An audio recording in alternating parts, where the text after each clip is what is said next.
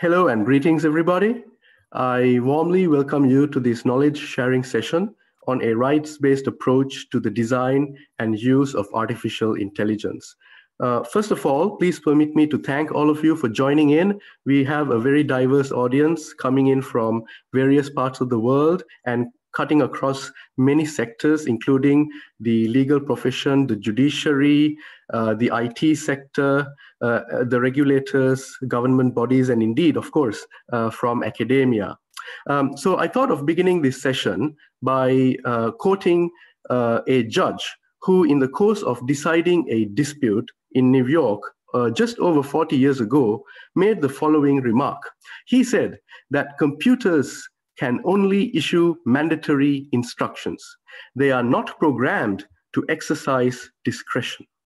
But today, I think that you would agree that the validity of this statement is somewhat questionable in light of the developments that we are seeing, particularly in the area of AI and robotics. We know that AI is being increasingly used by uh, the private sector and indeed governments, as well as social media platforms that you and I interact with on a regular basis. So there is no doubt a real need for us to pause and explore the need to look at the implications and ramifications of automation of using AI for decision making purposes. And indeed, at this stage, many government and industry driven efforts, I believe, have led to the formulation of numerous uh, types of ethical frameworks, standards, and guidance. Indeed, in Singapore, just last month, the Singapore Computer Society launched is, uh, its AI ethics and governance uh, body of knowledge, which uh, adds to the literature of, of this type of, uh, of uh, frameworks. and, and all of this clearly demonstrates the importance of thinking about the implications of using artificial intelligence for various forms of decision making purposes. Um, so, to give you some context, uh, this session is really part and parcel of a broader research project funded by Micron Technologies and the NTU Institute of Science and Technology for Humanity, uh, which focuses on the ethical, legal, and policy implications of using and designing AI for online speech moderation, or as we call it, content filtering. Now, there are four of us involved in this project coming from three distinct uh, colleges within NTU. So we have uh, Andres Luco of the School of Humanities, Shafiq Rayhan of the School of Computing, Harry Tan of the Nanyang Business School, and of course myself, Altaf Marsoof, also uh, of the Nanyang Business School. Um, our research, uh, preliminary research revealed that the ethical legal and policy implications and issues concerning the use of AI for the purposes of online content moderation uh, was nothing specific to the online context alone. And therefore, we thought that it would be appropriate for us to draw on the broader perspectives. And perhaps it is with this intent in mind that we decided to uh, organize and put this knowledge sharing session together so that we could invite uh, a number of experts who have uh, really thought hard and deep about the various implications of using AI for decision making purposes in numerous contexts.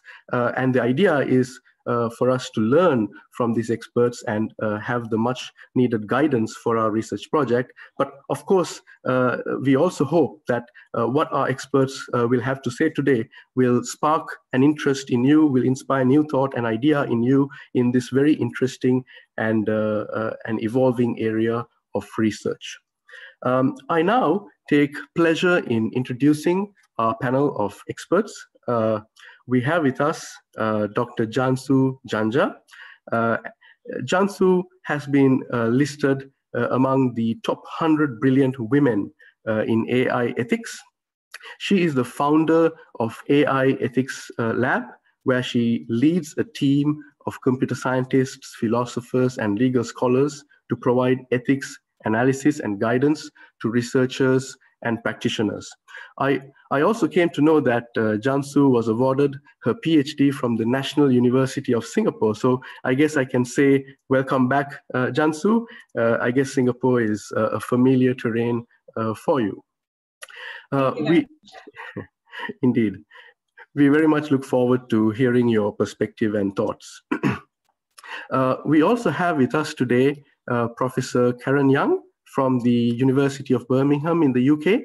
Uh, her research lies in the regulation and governance of new and emerging technologies, focusing on the legal, ethical, social, and democratic implications of automation, AI, and robotics.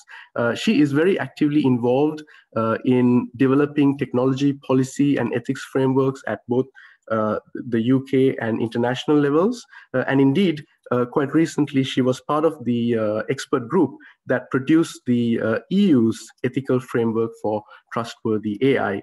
Uh, I believe uh, Karen has is yet to join us, but I'm sure we would certainly learn from her presentation very soon. last, but certainly not least, it is my pleasure in welcoming Professor Lyria Bennett Moses uh, from Australia. Uh, Lyria is director of uh, the Allens Hub for Technology, uh, Law and Innovation, and she is a professor uh, at the Faculty of Law uh, at University of New South Wales in Sydney. Lyria's research explores issues around the relationship between technology and law, including the types of legal issues that arise uh, when technology changes and evolves and how these issues could be addressed and dealt with, uh, not just in Australia, but also uh, in other jurisdictions. Uh, but more recently, uh, from her uh, profile, I was able to gather that she is very much focused on the implications of the use of AI on the part of government bodies, particularly for law enforcement and gathering intelligence and so on. Uh, so we certainly look forward to hearing uh, Lyria's perspective uh, in, in this regard. Um, now, uh, before moving on uh, to the talks of our experts, as the NTU research team, we thought that we could briefly share our ongoing research, share with you the developments of our ongoing research, um, so that we may be able to provide you with a better context uh, to what the experts uh, will have to say uh, very shortly. so please permit me to share my screen.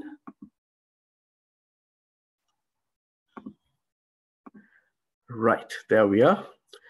Um, so as you can see, the uh, the the objective of uh, our research project is essentially to look for or come up with a comprehensive framework, uh, and this includes an ethical framework as well as a regulatory framework for the design and use of AI for the purposes of online speech moderation or content filtering.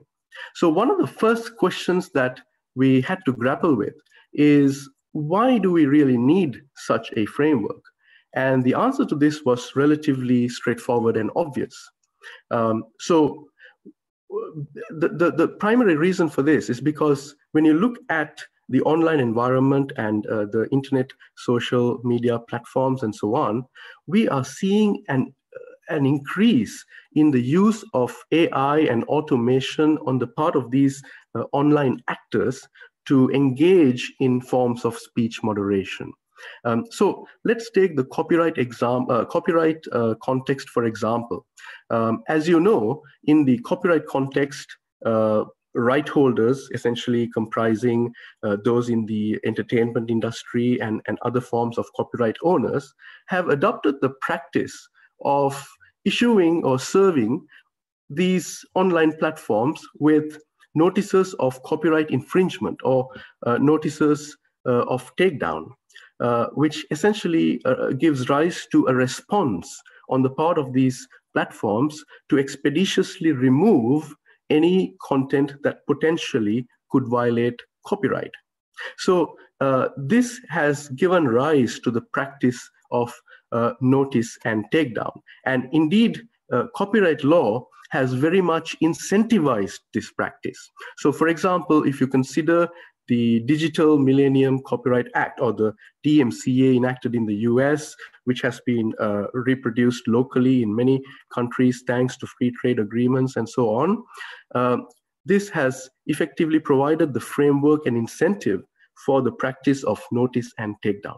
But what we see uh, in the more recent times is that there is an exponential growth in the number of such takedown notices that are being served on these platforms. So for instance, uh, if you look at the graph on the right of this slide, um, you would see that the number of notices of infringement that have been served on a single entity, uh, that is Google, has significantly increased over time. And in the last, uh, or rather in a week's period in March in 2016, you would see that uh, Google has received in terms of its search and indexing services, it has received over 21 million notices of takedown within the spell of a week.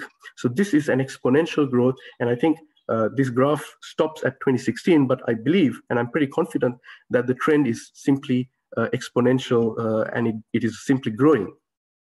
Uh, and scholars have uh, sort of attributed this phenomenon to the use of artificial intelligence on the part of right holders or copyright owners. Essentially, copyright owners are using AI to crawl the internet and to look for potential infringements and to automatically issue takedown notices. And as a response to this, online platforms too have innovated, and they are also using AI to respond to these so-called robo takedown notices. And as a matter of practice now, we are seeing a growth in the use of AI in the context of notice and takedown. Also, in the context of policy and legislation, we are seeing a, a drastic shift. Um, so, for instance, again, uh, in the copyright context, the European Union recently enacted its Digital Single Market Directive, which essentially deals with copyright enforcement and, and other aspects as well. But Article 17 is quite interesting because it requires online service providers and mainly content sharing platforms to exercise best efforts to ensure that copyright infringing material uh, are not available on their platforms. And secondly, once uh, material has been identified as infringing, to ensure that such material never gets back on uh, never gets back onto their platform. So in essence, uh, this has given rise to a practice of having to use automated technologies uh, to comply with these requirements set out in these uh, in these new laws. Uh, although the law itself does not require any form of automation in express terms, scholars have said that in order to comply with these requirements, there is a de facto requirement uh, for automation, and therefore service providers are increasingly using AI for this purpose. And if you look at the graph on this slide, you will see that YouTube uh, towards uh, from, from April to June this year has used automated technologies to essentially remove over 10 million videos within that uh, spell of time. So I think that clearly AI is something that is being integrated into content moderation very quickly and fiercely, and therefore it is certainly important that we pause and think about the implications of using AI for this purpose. And indeed, to look at the limitations and challenges, because I believe that if we don't do that, there is a significant threat to the exercise and protection of our human rights, uh, including the right to free speech, not only on the internet, but also uh, it could have effects outside the online environment.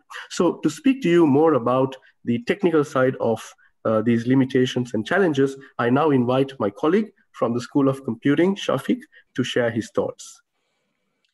Thanks, Altaf. Uh, so let me talk about uh, some of the limitations and challenges uh, of current AI systems.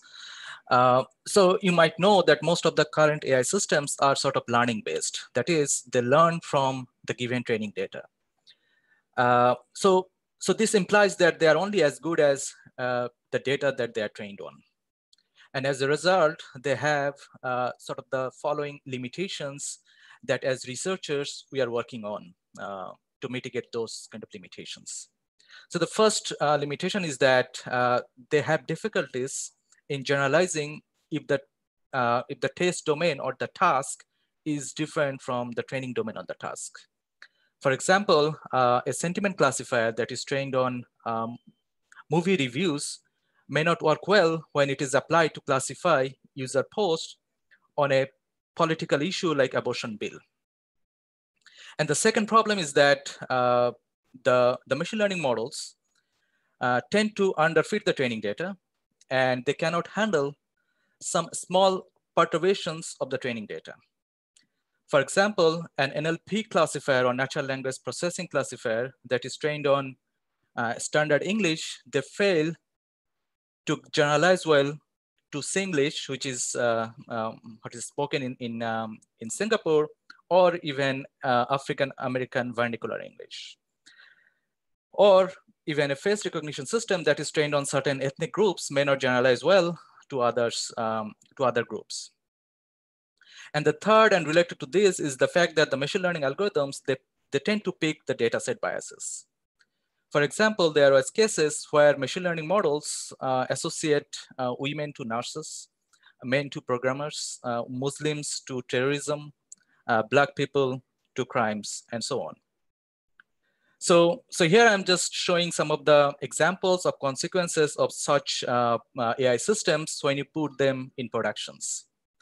so back in 2017, a Palestinian construction worker was arrested by Israeli police for a post uh, which says in Arabic, uh, Uzbi Huhum, which actually means uh, good morning. But the Facebook's uh, automated machine translation system uh, translates to attack them in Hebrew and hurt them in English. And which ended up actually arresting uh, the person and Facebook has to uh, apologize for that.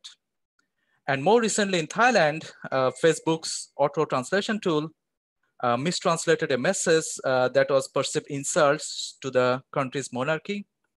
And Facebook again has to apologize and it has to uh, temporarily disable the English Thai auto machine translation system. Uh, could you please go to the next slide? So another major limitation of current machine learning based AI is that uh, they are based on deep learning models. Uh, that means they have layers of neurons um, and they are not very inter uh, interpretable. So when AI system makes such mistakes that we have seen uh, or, or makes some uh, discrimination, it's quite difficult to understand why what went wrong and why the system made that, those kind of decisions. So again, here I'm showing some of the examples of racial, uh, racial biases that AI systems make. And again, it's difficult to diagnose the system, why the system make this kind of mistakes, like uh, predicting policing algorithms are racist. Uh, the algorithms that detect hate, hate speech online are biased against uh, black people. Millions of black people affected by racial bias. So these are all headlines that came because of uh, the racial bias uh, created by AI systems. And when it uh, turns about how can we diagnose the system, uh, since the models cannot be interpreted, we cannot actually understand what went wrong. Uh, could you please go to the next slide? So another major limitation is that current uh, machine learning methods, uh, which are very good in um, sort of mapping input to the output, but for tasks that require sort of logical or, or, or mathematical reasoning or contextual understanding or, or even common sense, they tend to fail. For example, they fail to solve numerical problems that require arithmetic or logical operations, like how many goals a particular player scored in a season, or the difference between ages, and so on. And they cannot generalize over different contexts. For example, one content that is offensive in certain country may not be offensive in other country. And also, they do not model the, the causality relation uh, between the events uh, quite well. Uh, they tend to model the correlation, but causality is different from correlation. So these are the challenges uh, in a nutshell. And also these are the opportunities uh, for AI researchers. For example, my work has been trying to make AI system robust by creating adversarial examples like small perturbations of the input where the models fail and then train on those inputs so that the model can become now more robust and also to make them robust to second language speakers like Singlish or African American vernacular English. And also to debias a bias system uh, that is creating like toxic output. So can we debias that?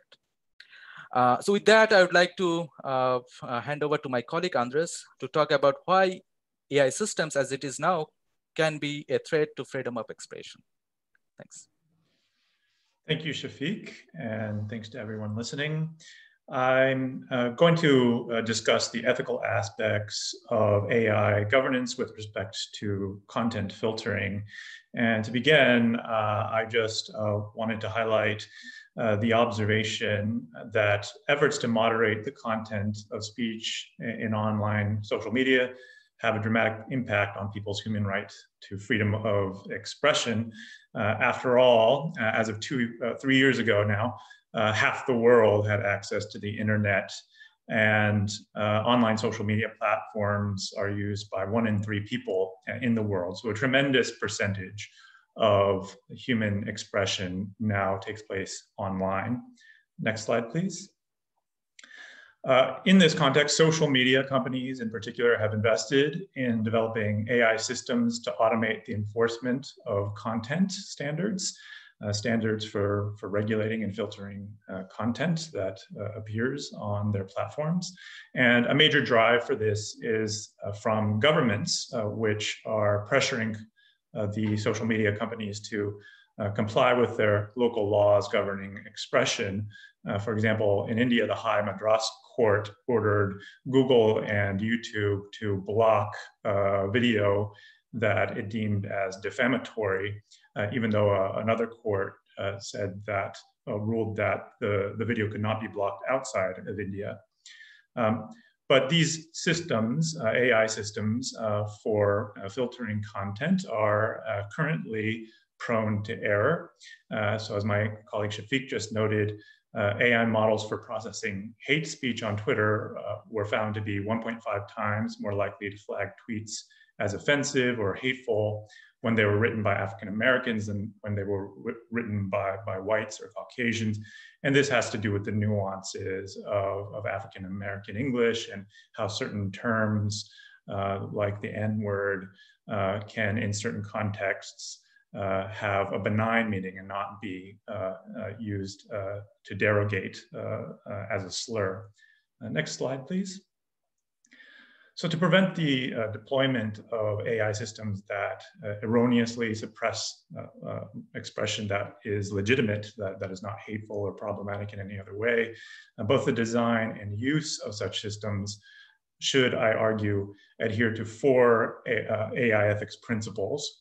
And this is not an exhaustive list, but I do think that AI systems should adhere to these four, among others. So one is transparency. Uh, and that is that, uh, and that the idea is that online platforms should clearly state that they're using AI systems to moderate content, and the content moderation policies should be expressed and articulated publicly, and they should be reasonably easy for users to understand. Uh, explainability is another uh, AI uh, ethical principle that I think AI systems should adhere to. So this is the idea that if an AI system removes content it deems to be in violation of the moderation policies, the platform ought to give an understandable explanation for why the content uh, was removed. Uh, fairness is a third principle. It's the idea that platforms should not use AI systems that commit errors in a way that disproportionately disadvantages any particular uh, group. Uh, and the final uh, principle is human centricity. And, and, that's the idea that AI systems should be designed, developed, and used in ways that promote human well-being and respect human rights. And I think that the fourth principle is particularly important uh, because it can connect AI ethics principles uh, to the uh, global human rights uh, legal and regu regulatory regime, as well as domestic governmental regimes. Okay, I'll now hand off uh, to my uh, colleague from the business school, Professor Harry Tan, uh, who will give the last part of our presentation. Thank you very much, Andres. Um, allow me to refer to my first slide titled, uh, When AI Got It Wrong. Uh, what you see here is a screen grab from the Guardian newspaper report dated the 19th of October this year. You will see two similar images side by side on the left is the image published by Miss Candice Swanepoel, a Victoria's Secrets model who published that image on her Instagram page. On the right is a parody of that image by Miss Celeste Barber, an Australian comedian. What is interesting was that Guardian reported that Instagram's algorithm had automatically flagged Miss Barber's image, which resulted her 7 million followers not being able to share it. Apparently, it was flagged because it went against the community guidelines on nudity or sexual activity. What was odd was, while Miss Barber's image was flagged, Miss Swanepoel's wasn't. Somehow, it seems that the AI had made a clearly biased decision. It got something wrong. However, just a few days ago, Instagram apologized to Ms. Barber and agreed that their AI had made a mistake, and they promised that they will work on the system to make sure it will not happen again. Next slide, please. So far, internationally, almost every country looking at the governance of AI have published regulatory frameworks based on ethical standards. These frameworks are purely voluntary, without any structure for compliance and enforcement. Also being considered are the international certification standards. Uh, ISO, IEEE, ITU are all still working on developing their standards. Hopefully, when they are finally published, these standards do set out what AI algorithm programmers need to do to attain the technical and operational standards so that the systems that will, will not just be robust, but they will be fair and protect the interests of those affected as well. The question that remains here is whether these ethical frameworks and international certification standards, which is still yet to be published, will be sufficient in preventing another debacle such as the one suffered by Ms. Barber, or the situation where the Palestinian was arrested for publishing Good Morning in Arabic on Facebook. Next slide, please. Our work so far has shown us that for there to be effective regulatory framework for content filtering, we need to do just a little bit more.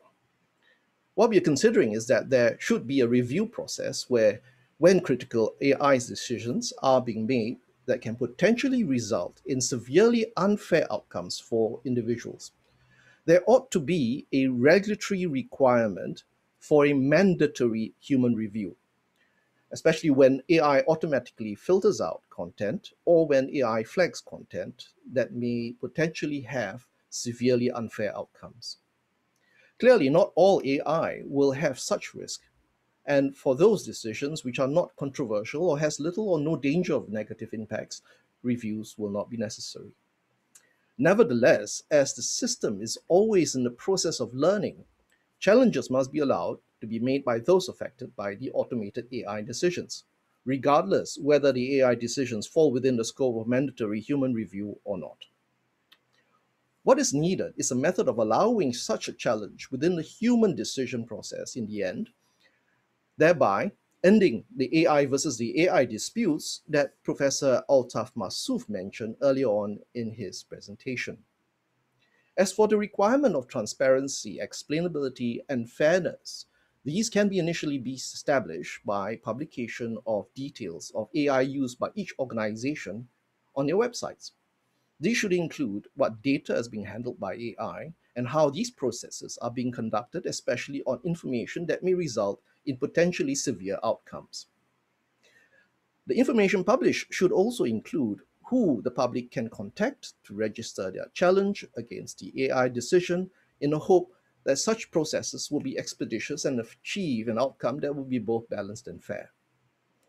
It is our hope that with these basic steps towards a regulatory requirements, that those who are in the same situation as Ms. Barber will have a fairer treatment by AI. If a takedown was necessary, there was a way for her to make such a challenge and obtain a fair and bias-free decision quickly by humans with the domain skills and the knowledge of the issues in a dispute. Similarly, with the immediate basic regulatory requirements, including the international certification standards, it is hoped that the AI bias and translation issues will be trained out of the system and hopefully will reduce and prevent further injustice and unfairness. Uh, this ends my segment. I now hand this back to Professor Andreas Luco. Thank you, Harry. And now it's my great pleasure to introduce uh, Dr. Cansu Canca, uh, who uh, will speak to us today uh, about creating ethical online content. Uh, take it away, Cansu.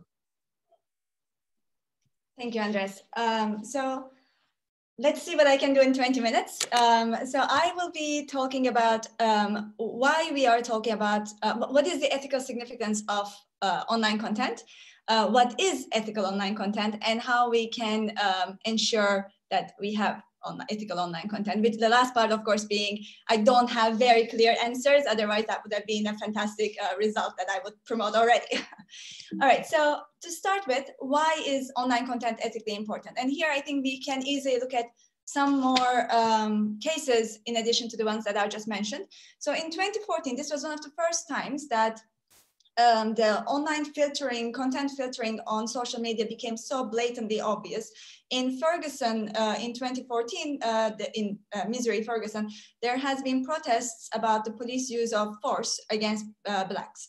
And it was eye-catching that on Twitter, this was all over the news, uh, news feed, whereas on Facebook, it was completely drowned by uh, another um, hype, which was the um, ice bucket challenge.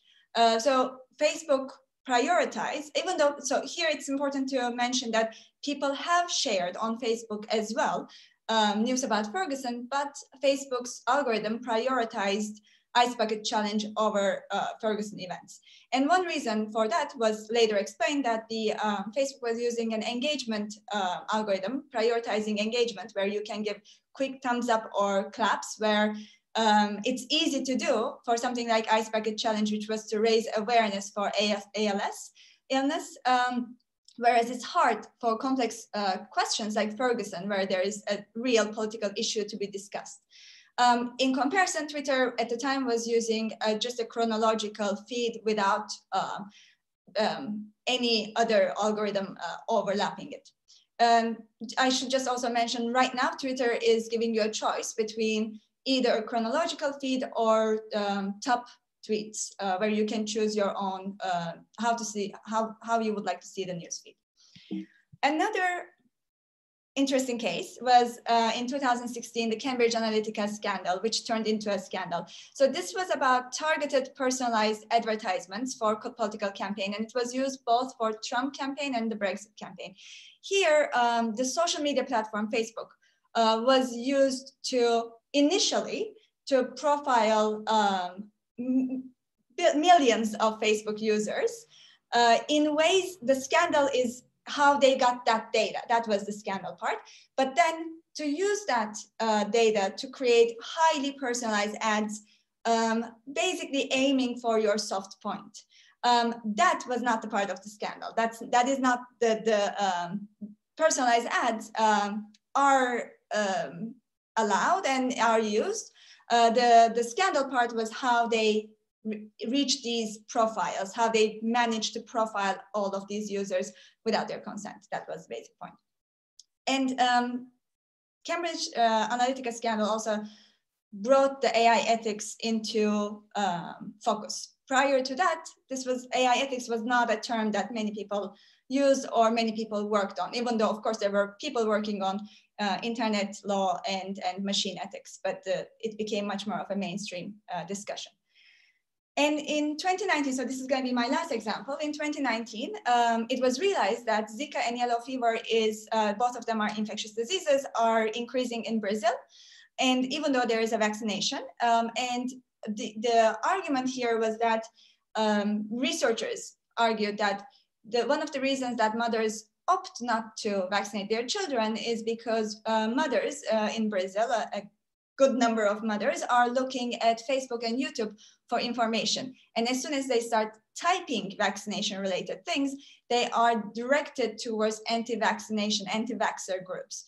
Um, so this, this is about the recommendation algorithms in Facebook and YouTube, choosing to send people towards um, more of a conspiracy theory um, conversations rather than uh, packed with information. And here, of course, the Facebook or YouTube has not, no agenda regarding vaccination. The idea was that um, people just like looking at conspiracy theories and they spend much more time um, on the platform uh, when they are look they click they keep clicking on the next video or reading more and more on the discussion forums if they are in the conspiracy uh, theory type of groups rather than the um, boring uh, scientific explanations. So why are these ethically important? Well, first of all, all online content is sorted through an algorithm. So either it can, it can be personalized um, algorithms or chronological algorithm, algorithms that uh, give you the feed is as chronological or in terms of what is most clicked on. And when I say all, um, all types of online content, well, we've seen the social media, but of course your search engine results, but also your scholarly uh, research. So if you're going, going for Google Scholar or PubMed, you still see the results um, given you through an algorithm, through a sorting algorithm, uh, which will eventually, of course, feed into the uh, scientific research that comes out. Um, similarly, when you're applying for jobs, what you see, what is uh, what you see on the online platform for uh, job applications is uh, in some form um, sorted and uh, your holidays as well, where you go, where you are offered to go, and what, on what price. All of these are sorted through algorithms. So there is a um, good reason to think that they, this is a relevant question on all sides of our lives, and not just um, content filtering in the sense of what gets deleted, but what gets ranked, because we know that people um, 20% of the people look at the first five entries of the, uh, sorry, more than, not more than 25% uh, of the people look more than after the first five entries of search engines and very few people go for the um, pages after the first page. So ranking uh, does a lot of the job that the filtering, completely removing, does already. Um, and what do we do? What happens when we manipulate information? Well, basically, the manipulation of information is a good way of violation of autonomy.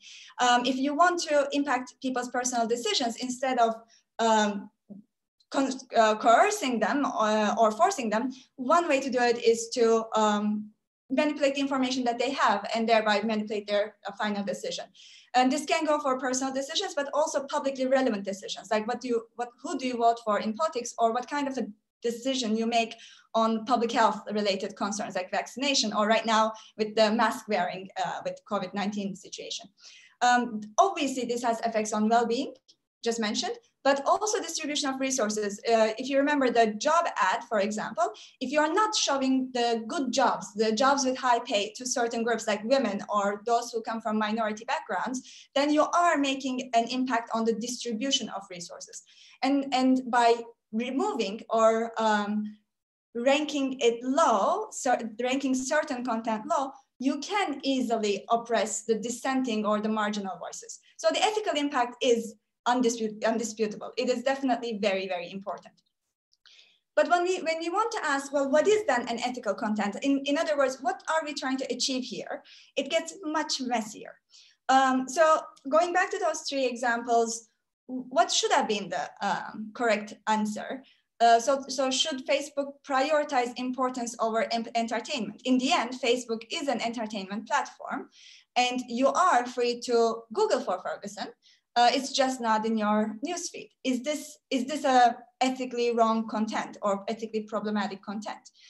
Uh, or when it comes to Cambridge Analytica, if you forget about the data, how they get the data breach aspect, um, highly targeted ads, highly personalized targeted ads, are they wrong? If they are wrong, is it also wrong to put certain advertisement into uh, certain programs? You know, if you have a, a left-wing uh, TV channel, should you not target your uh, left-wing ads to that TV channel?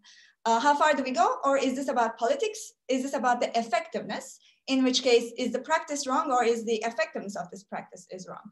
And when it comes to these anti-vaxxer movements, it's one thing to talk about if they make claims saying that you know vaccination causes X. It's another thing if they express uh, their beliefs or experiences. Can they, is it only problematic or ethically wrong if they make false claims or is there something wrong about expressing experiences and beliefs? In the end, people take those experiences and beliefs as usually as strongly as statements.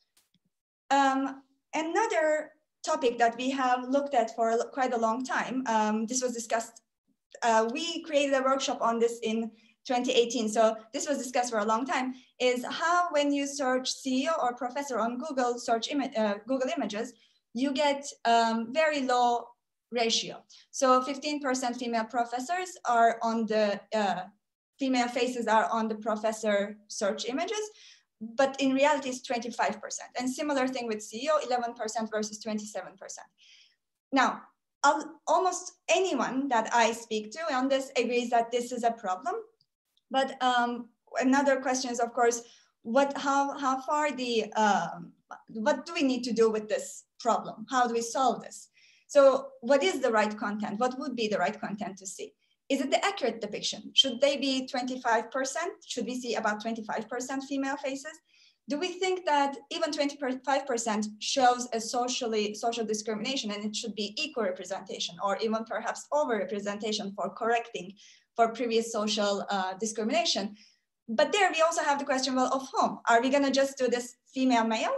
Um, what about the LGBT community, ethnicity, different countries, socioeconomic backgrounds, disabilities, abilities? So what kind of a variety of representation are we talking about? Um, can we do just with user choices in terms of most clicks, which is sort of what's going on right now, but should that be global or local or personal?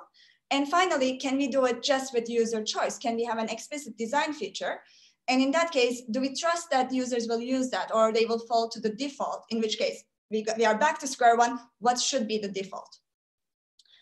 Um, and Andres just mentioned this. Um, Twitter had this problem, uh, had a problem about hate speech, which seems much easier to, to solve than these more murky questions.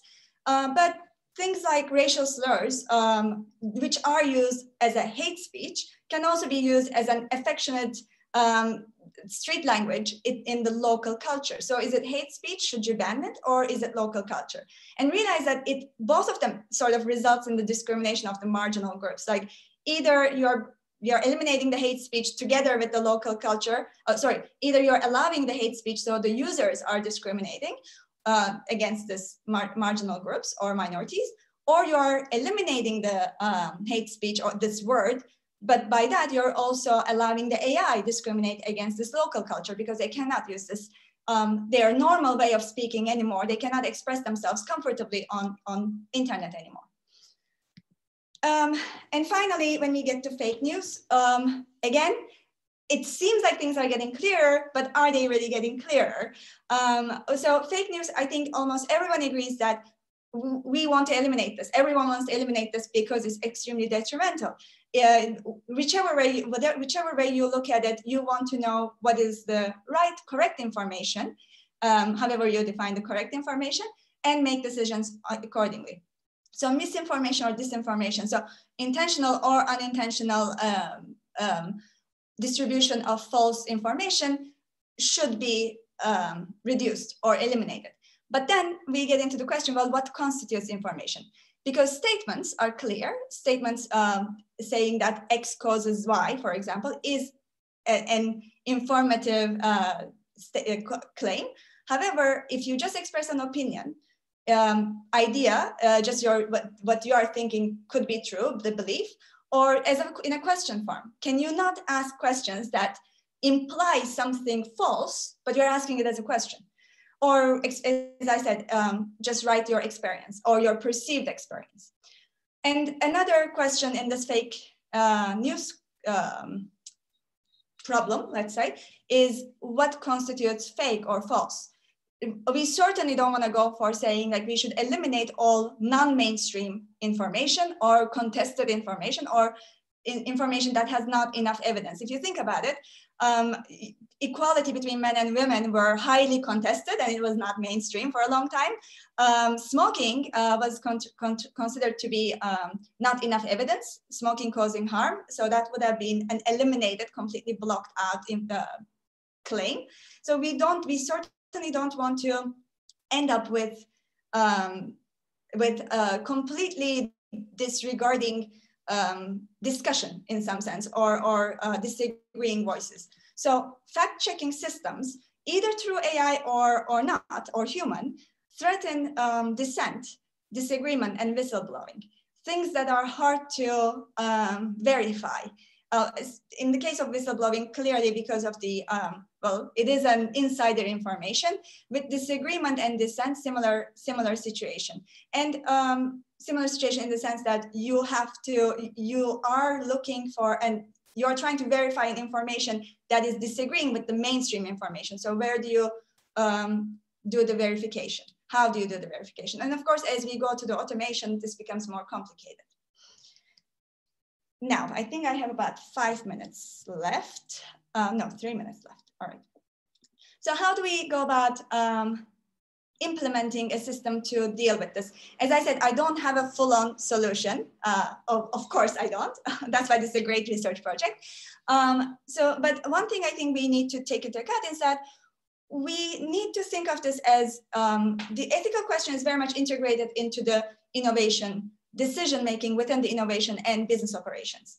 Um, and to uh, deal with these ethical questions, as mentioned earlier, um, many AI principles have been published around the world. So this is our uh, tool, this is from our toolbox, Dynamics of AI Principles, um, where we gathered all available um, AI principles published around the world, um, where you can compare and sort them uh, in different with different functions. But in 2015, there were only four. Um, in 2020, we have over 100 sets of AI principles published around the world. The interesting thing about them is that you can they, they repeat themselves, obviously. And when you compile them under core ideas, so co core values, let's say, autonomy, uh, avoidance of harm, minimization of harm, benefits, benefit, beneficence, or injustice, they um, you can sort of sort them all under these four headings. And those four headings, by the way, are the traditional uh, bioethics principles uh, that come from the research ethics, uh, so beneficence, non-maleficence, autonomy, and justice, which also featured in EU's framework of uh, trustworthy AI, where they added explicability, but pay, um, not that explicability was added as an enabling principle. So not as a core principle, but rather um, one that enables these other four principles.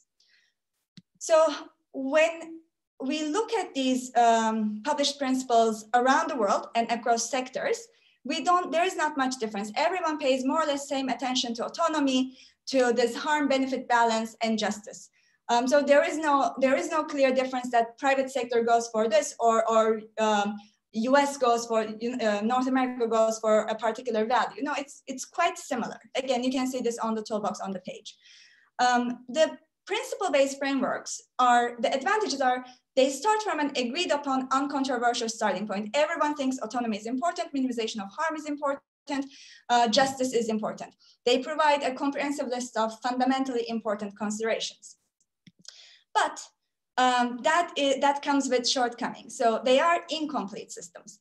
In themselves, when there is a conflict among principles, the principle-based frameworks do not provide any tool to resolve them. If you prioritize one principle over the others, you're basically sliding into a theory which is not uncontroversial anymore. It is controversial. Um, incomplete systems in the sense, by the way, that they are, um, unlike theories, you cannot derive results in all circumstances. They just answer certain simple questions. Um, and so in order to resolve the conflicts, you have to engage with the theories of justice and ethics, which takes you to philosophy. Um, to help use these principles for their advantages, but knowing their shortcomings, we created this tool called the box, where we organize the relevant, um, where we organize the relevant instrumental principles according to their uh, what, what they serve most uh, in terms of core values. Also, there's an article coming up um, one of my articles in uh, communications of the ACM about this topic. Um, so you see that, for example, transparency, explainability, they will serve to uphold human autonomy because we would understand what we are dealing with. Um, but there are other things that also serve uphold human autonomy. And to, to be clear, these, these instrumental principles will conflict. In most cases, they will conflict. But that's not a huge deal because they're instrumental. The problem, the bigger problem is when the core principles conflict autonomy and harm and benefit. Then you have a conflict among the theories. So now going back to what um, I saw in the uh, presentation in, uh, for, from the uh, NTU group. Um, so your framework focuses on the explainability and transparency and just fairness. uh, and human centricity understood as well-being and rights. Of course, the, the problem here is that, uh, well, just fairness in which sense? There are at least um, five different types of theories of justice that will say different, uh, that will lead you to different design um, and policy uh, choices in terms of fairness. And transparency and explainability are instrumental. So the question is, why are they more, why are they prioritized instead of, let's say, agency? Uh, giving the user choice, not just information about transparency um, or well-being. Certain in certain questions, why should the system not prioritize well-being, human well-being? You could say that well-being is um, not objective. Um, people might have different opinions. Well, so does fairness. People have different opinions about fairness. Um, and in terms of human centricity, um, well-being and rights, well, uh, this is sort of like going for the utilitarianism versus Kantian ethics. Well, they, they do clash a lot of the time. So human centricity understood as well-being and um, promotion of rights is hard to um, combine at all times. Um, so what I, um, let, me, let me have two more minutes. what I have um, in terms of, what, what I have to suggest is not um, rocket science. It's not great in the sense that I think the ethical analysis. So not just principles, which is like the starting point of thinking about these questions, but really engaging in ethical analysis in research and de development, in design and in implementation should be a part of business operations. And they, the businesses should uh, be forced to, should be required to justify their decisions. And here we can get to the, of course, how do we enforce this? We need legal framework to enforce integration of ethics and set the boundaries for what is permissible. And human rights framework could do that, but keep in mind that human rights framework is another type of principle-based framework where the um, shortcomings comings are exactly, it is more comprehensive than four principles, but the shortcomings are exactly the same way. There is no further agreed upon non-controversial uh, way of uh, resolving conflicts among human rights principles, human rights uh, conditions. So we again go back to theories of justice and ethics. We have to engage with them whenever they conflict.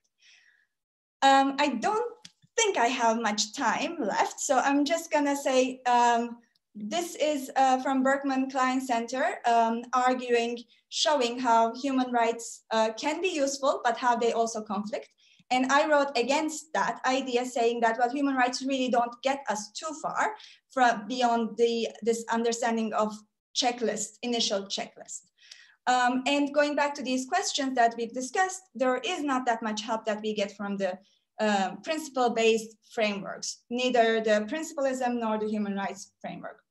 And when we come back to the fake news, for example, we are left with a very limited um, area of implementation, which is, well, we can filter fake news if they are statements, but not opinions, ideas, questions. If they are proven beyond doubt to be false, not contested or, or not enough evidence. And this can be done through automated systems, but it will have um, effects, it will, it will make a lot of mistakes. So in order to avoid those mistakes, um, we have to have some meaningful human oversight. But meaningful human oversight does not mean that uh, humans should check, review the um, results, but rather it means that humans should engage, human reviewers should engage in tests to check the accuracy and uh, efficiency of these systems and check for these uh, particularly scary uh, questions like are, is the system discriminating against a particular group? Is the system oppressing certain voices? Um, I'm trying to go finish very fast. Um, so yes, the legal framework, we need a legal framework, but that will be very limited. It will be limited to things that are uncontroversial, like false information, child pornography, predator targeting, or consent.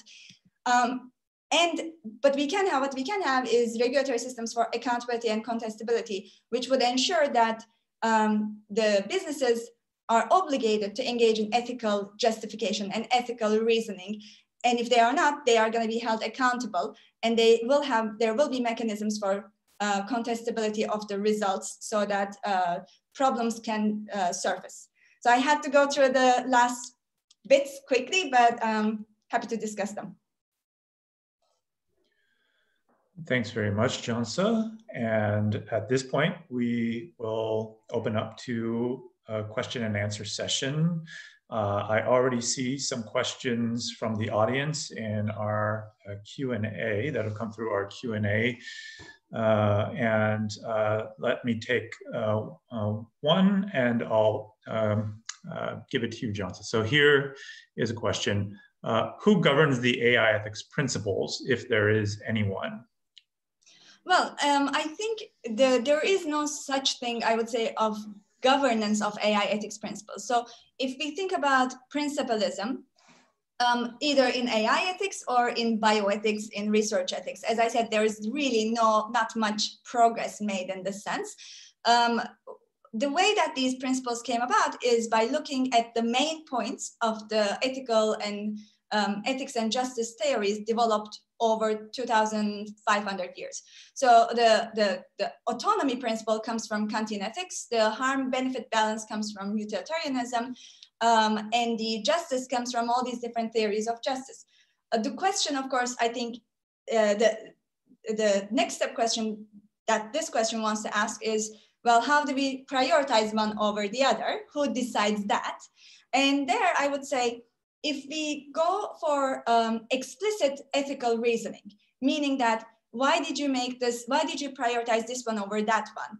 Um, we would go a long way. So if you know, for example, Facebook always prioritizes, if need be, um, privacy over well-being, uh, privacy or, uh, or, or autonomy over well-being. That would give you an information about what to be worried about when you're using Facebook or, or, or other systems. Um, so I'm not going to say somebody governs it. I don't think anyone can govern it, but I think by making them explicit, we can let people choose. Here's another question, Cansu. Um, uh, uh, this is a colorful question. Um, uh, I'm concerned with the hurdles involved with uh, the implement implementation. Uh, how can we make these ideas palatable to profit motivated entities that would scoff at such seemingly highfalutin ideals? Um, so I think we have to first acknowledge that ethics must take into account the profit making of these companies. Because if we think that the private sector contributes to our um, higher living standards, well-being, you know, these technologies are things that we enjoy and we find useful, then we want them to be around. So we cannot just say that, no, we will regulate everything despite and kill the profit making and the incentives that comes from profit making.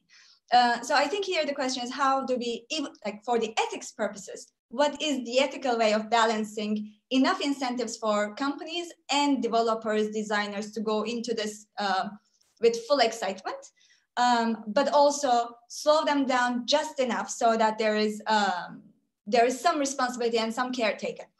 And I don't think this is that controversial in the sense that um, uh, the child workers were a part of the industrial revolution for a long time and they were extremely profitable but it was understood that hey let's draw the line there and we are not discussing this anymore. So we can have certain rules. The question is how to make sure the certain rules don't completely kill the industry or kill this um, innovation spirit of the industry which is to the benefit of society to a certain degree.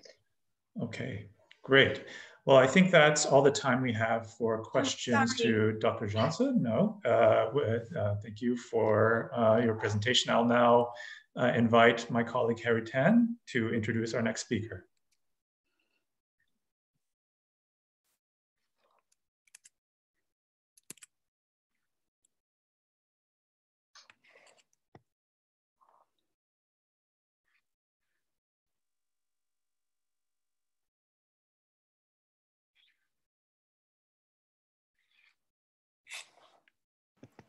I'm sorry, my uh, my system seems to have caused us a hiccup all of a sudden. I can't have my camera turned on. Oh, yes, I can. Yes. Um, sorry about that. Uh, such is the life of technology. Uh, first, welcome again uh, to Karen. So good to see you. Uh, Karen will be speaking on her subject matter, which is the AI governance by human rights centered design, deliberation, and oversight, an end to ethics washing a very interesting title, uh, Karen. Uh, over to you. Thanks, Harry, um, and thank you for having me. It's a pleasure to be here. Um, I'm sorry I can't be with you in person, but I'm sure we're all sorry that we can't meet in person.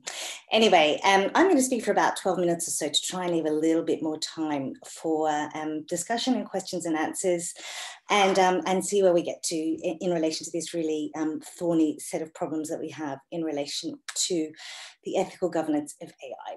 So um, has already really usefully mapped out just how many voluntary ethics guidelines uh, concerning AI now exist in the world. Um, one of these, amongst many, is the uh, Voluntary Guidelines for Ethical Trustworthy AI, established by the EU High Level Expert Group. You probably had a look at these. I was a member of that group and involved in their development. And it's fair to say there were many differences of opinion between individual members of that group, but nonetheless, we agreed on the idea of trustworthy AI, that the goal was to try and identify certain minimum qualities that AI systems must meet if we can properly consider them as trustworthy.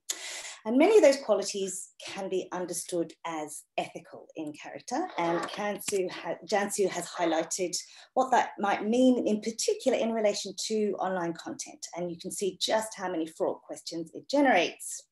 So even if we agree, and it's easy to agree that trustworthy AI is the goal to which we aspire, then this raises many questions and challenges.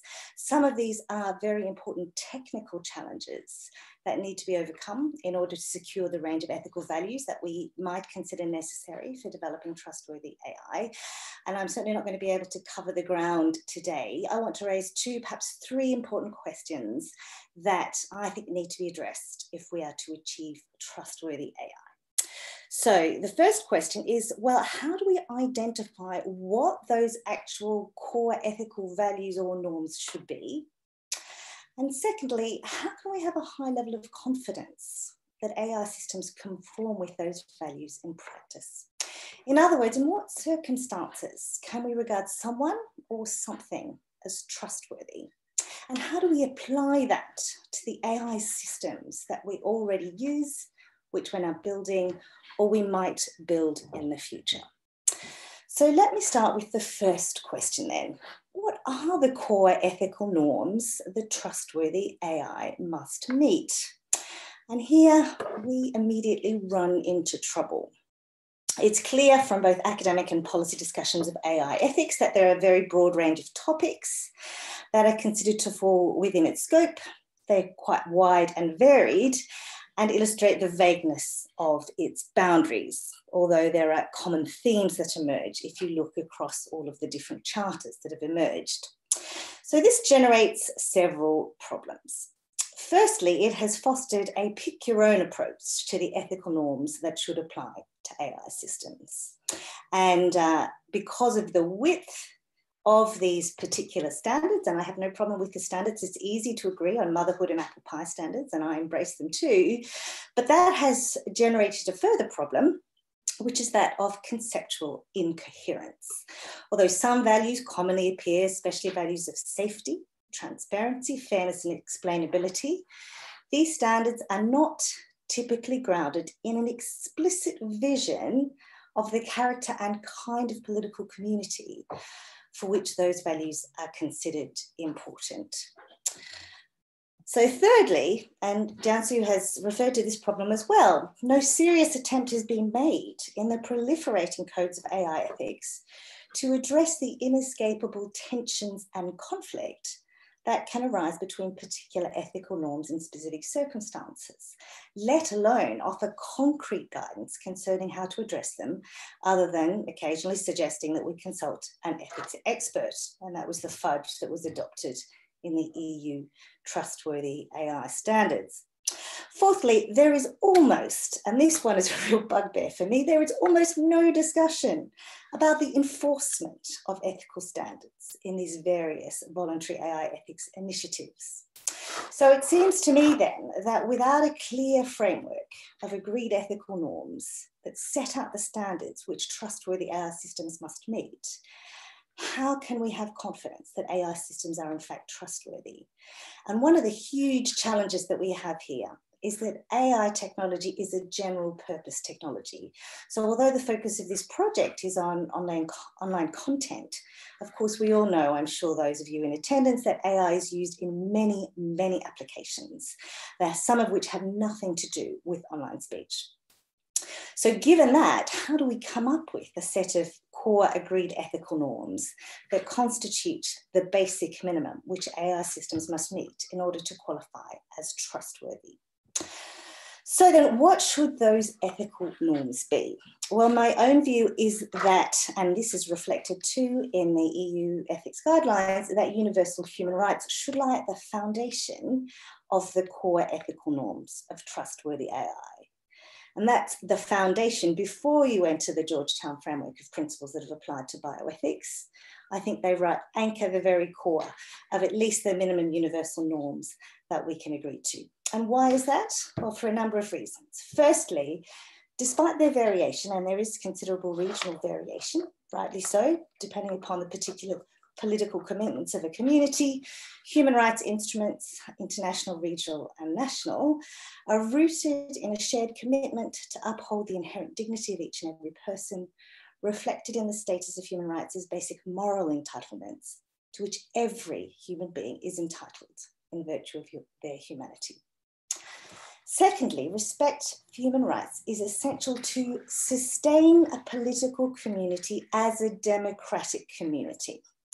So if you believe in democracy, it's almost impossible not to also believe in human rights. They are part of what it means to be a democratic community, the integrity of which is already under threat from AI systems that increasingly configure our collective and individual informational environments.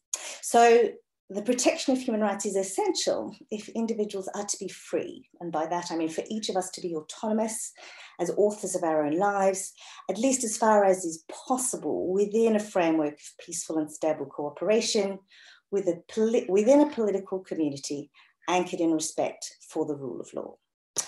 Thirdly, and this is important as well, there is in international human rights law and in various regional human rights frameworks a well established framework of human rights law that provides a structured form of reasoned evaluation for resolving tension and conflict between rights and between rights and important collective interests in democratic societies based on the principles of legality, necessity, and proportionality. Fourthly, and also importantly, a human rights framework emphasizes the need to guarantee effective remedies in the case of violation. And that means that there must be legal safeguards, including institutional mechanisms for investigation, oversight, and sanction to evaluate whether human rights standards have been violated. And it's this insistence of human rights law to guarantee meaningful and effective remedies for rights violations that brings me to my second question and that is this how do we know, or at least have a high level of confidence, that our pre specified requirements are in fact being met? In other words, when is someone or something properly regarded as trustworthy? Well, in short, something is trustworthy if in fact it does what it says on the tin. In other words, only if we have hard evidence for our belief that something or someone is trustworthy can we then rely, reasonably rely on the thing or person to behave in accordance with claims of trustworthiness. And one of the important lessons that behavioral economics has taught us amply supported by the now routine, fine grained, highly granular digital tracking of our everyday behaviours, is the wide gap between what we say we care about and what we in fact do, and what we say we like or prefer, and what we in fact like and prefer as revealed in our actual behaviours. And this is equally true, that's what it means to be human, for those who design, develop, and deploy AI systems. Organisations might claim that their systems meet particular trustworthy AI standards, and they might claim that they're employing the various techniques that are considered essential to securing the technical standards of trustworthiness. But simply because someone claims that their product or their service is trustworthy does not make it so. In other words, we cannot trust that AI systems meet claimed standards without meaningful external oversight and monitoring of those systems, undertaken by independent authorities with legal powers to gather evidence and to investigate and evaluate whether AI systems have in fact been designed and implemented in ways that meet the developer's claims. Merely having blind faith in the validity of such claims does not make AI systems trustworthy. So, what must we do then? What must we do to work towards the achievement of trustworthy AI? So, you're quite right, it's fine for me to make a case in favour of human rights standards, and it's not especially difficult to do that as the foundations underpinning trustworthy AI, and to advocate for the need for legal mechanisms to ensure their enforcement. But it's quite another to ensure that AI systems actually meet human rights standards in practice. So, what needs to be done? Well, firstly, we need to understand precisely how human rights standards apply in a world increasingly configured, supported, and powered by complex socio-technical systems that utilize AI. And as many of the questions that Cansu has already raised in relation to content, these are not easy or straightforward questions, and that is just in one single domain into which AI reaches. Reasonable differences of opinion are likely to arise about the proper scope of any particular human rights norm and what it requires in a specific context, and this is particularly so given the different political commitments and cultures across communities and nations. So to give an example, consider the right to freedom of information as well as the right to due process and fair procedures. These together can be understood as giving rise to a requirement that AI systems be explainable and intelligible. But identifying what precisely this requires in relation to specific AI systems when used for particular purposes is likely to vary quite considerably depending upon the context and consequences of use in any given socio-technical system. It requires both legal and ethical, ethical reasoning, as well as a clear understanding of the technical systems, the data upon which it's trained and operates, and how those outputs interact with human decision making in specific organizational contexts and social domains. So it's not an easy task. So, what we at least need then as a starting point is to develop an overarching governance framework which in my view should have human rights norms at its core, that draw on a wide range of disciplinary expertise and methods. And I commend what, the work that NTU is doing in this respect, integrating them together in a systematic and coherent manner that is capable of meaningful and practical implementation. But to achieve this, there is an enormous amount of foundational scientific or disciplinary work to be done. And that is both to specify the content and contours of the suite of techniques that it's likely to entail, both technical, legal, ethical, and organizational, as well as to render it capable of practical implementation. Nevertheless, I believe we can identify the core elements of the kind of governance approach I think we need. And together with some colleagues, we have called this human rights centered design deliberation and oversight, in which contemporary human rights norms comprise its core ethical standards. This is written up in much more detail in a recent chapter published in the Oxford Handbook of AI Ethics. There is a grey version available on SSRN if you don't have access to the book. It is a framework designed around four principles. Namely, one, design and deliberation, that is with stakeholders and with citizens if appropriate. Two, assessment testing and evaluation. Three, independent oversight, investigation and sanction. And fourthly, traceability, evidence and proof. Our proposed approach draws on a variety of methods and techniques from multiple disciplines, including ethical design frameworks and adaptation of technical methods and techniques for software engineering, particularly a lot of the work that's been done on uh, safety critical systems and reconfiguring them and orienting them towards compliance with human rights norms, including safe system design, verification, testing, and auditing in order to ensure compliance with human rights norms, as well as social and organizational approaches that are required for effective, lawful, and legitimate regulatory governance regimes. And these will no doubt include some meta regulatory risk management techniques and impact assessment methodologies, as well as the need for post implementation vigilance. So, this regime needs to be mandated by law. It needs to be subject to external oversight by independent, competent, and properly resourced authorities with appropriate powers of investigation and enforcement. And it requires input from both technical and ethical and human rights experts, on the other hand, and meaningful input and deliberation from affected stakeholders and the general public where appropriate. Of course, that's easy to say, it's pretty ambitious. And to actually achieve that, several very serious challenges must first be overcome at the, discipline, at the disciplinary level, the organizational level, the industry level, and the policymaking level, none of which will be easily achieved. It's also important to recognise that although technical measures will have an important role to play in this proposed governance framework, it is absolutely vital that there is human deliberation, reasoning, and judgment as a necessary and important element of the framework, particularly because human rights norms are highly abstract in nature. So that understanding what they mean and require in real world settings simply cannot be fully automated. And nor, it needs to be said, can a human rights centered approach ensure the protection of all the normative values and concerns about the adverse implications of AI, given that human rights simply do not comprehensively cover all of the values of societal concern. So our proposed governance framework is only one important element in the overall socio-political landscape that is needed to build a future in which AI systems are compatible with liberal democratic political communities in which human rights and the rule of law lie at its bedrock.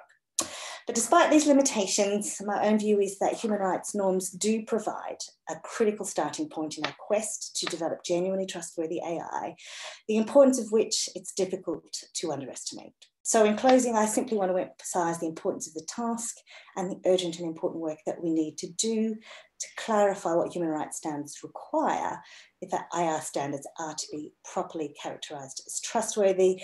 And with this, I want to close by referring to a couple of quotes from the UN Secretary General High Level Panel on Digital Cooperation, who said that the universal human rights that exist offline apply in the same measure in the digital realm that there is an urgent need to examine how time honored human rights frameworks and conventions and the obligations that flow from those commitments can guide actions and policies relating to digital cooperation and digital technology, and that we must collectively ensure that advances in technology are not used to erode human rights or accountability. I could not agree more. Thank you. Thank you very much, Karen. Uh, most uh, interesting and uh, thought-provoking. Uh, we've gotten quite a number of questions here, but I will take um, I'll take liberties and I'll start with my questions first, if you don't mind, Karen. sure, of course. Moderator's privilege. I, I, I was just thinking as you were speaking, uh, could could the way forward be um, a development of uh, interest within sectors as opposed to trying to build a, a broad stroke uh, uh, a, a, framework. You know, if the banking sector should really make an effort to look at how they're going to regulate AI in the sector of uh, banking and finance, uh, in, in e-commerce, and how they deal with uh, data privacy, uh, in in in various forums, how they're going to use the, the content to deal with uh, copyright issues. Uh, what are your thoughts on that? Because I, yeah. I primarily take into consideration your role uh, in, in, in Europe, where you sit in in quite a number of working groups, uh, and I'm, i was thinking, wouldn't the the approach from the sector be more effective? So I think we actually need both of those things. And I think absolutely you're right. There are very specific sectoral concerns that apply that are quite different. So there are kind of uh, concerns that have been raised in relation to online content, for example, are very, very different to the challenges associated with using it in medical uh, and treatment and diagnosis context. So I'm on a standard setting group for the medical domain, and we don't talk about any of the things that have come up today because they're completely different kinds of ethical challenges, if you like. Right. So I do think we absolutely need domain specific expertise and investigation. But I also think that actually there are some really important cross-cutting common challenges like data quality, data provenance, the labeling of data, questions like um, verification and testing, all of these yeah. are common challenges. And I think it's very useful to have an eye on the general field and those kind of minimum standards. But of course, I think there will need to be tailored to the particular needs and sensitivities of the domain in which the technology is being applied. So I think we need both of those. Thank you. Um, let me go to the first question. It's, uh, the from the audience. The concerning legal and regulatory systems for accountability and contestability. Do you envision them to be jurisdictional or cross-border in terms of scope? So that's a really tricky and important question. um, so one of the questions we're still wrestling with in relation to a human rights-based approach is that historically we think of human rights as primarily enforceable against the state. Yeah, so the vertical application only. But of course, as we know that in fact it's it's private firms and private organizations that are really the ones who are at the forefront with the, the really big systems that are being used. So um, nonetheless, at least at, least in European law, and I can't I can't speak for all the other laws across the world, um, the principle of horizontal effect means that a lot of these principles nevertheless apply to private providers or non-state providers because the state has an obligation to ensure effective achievement of those goals.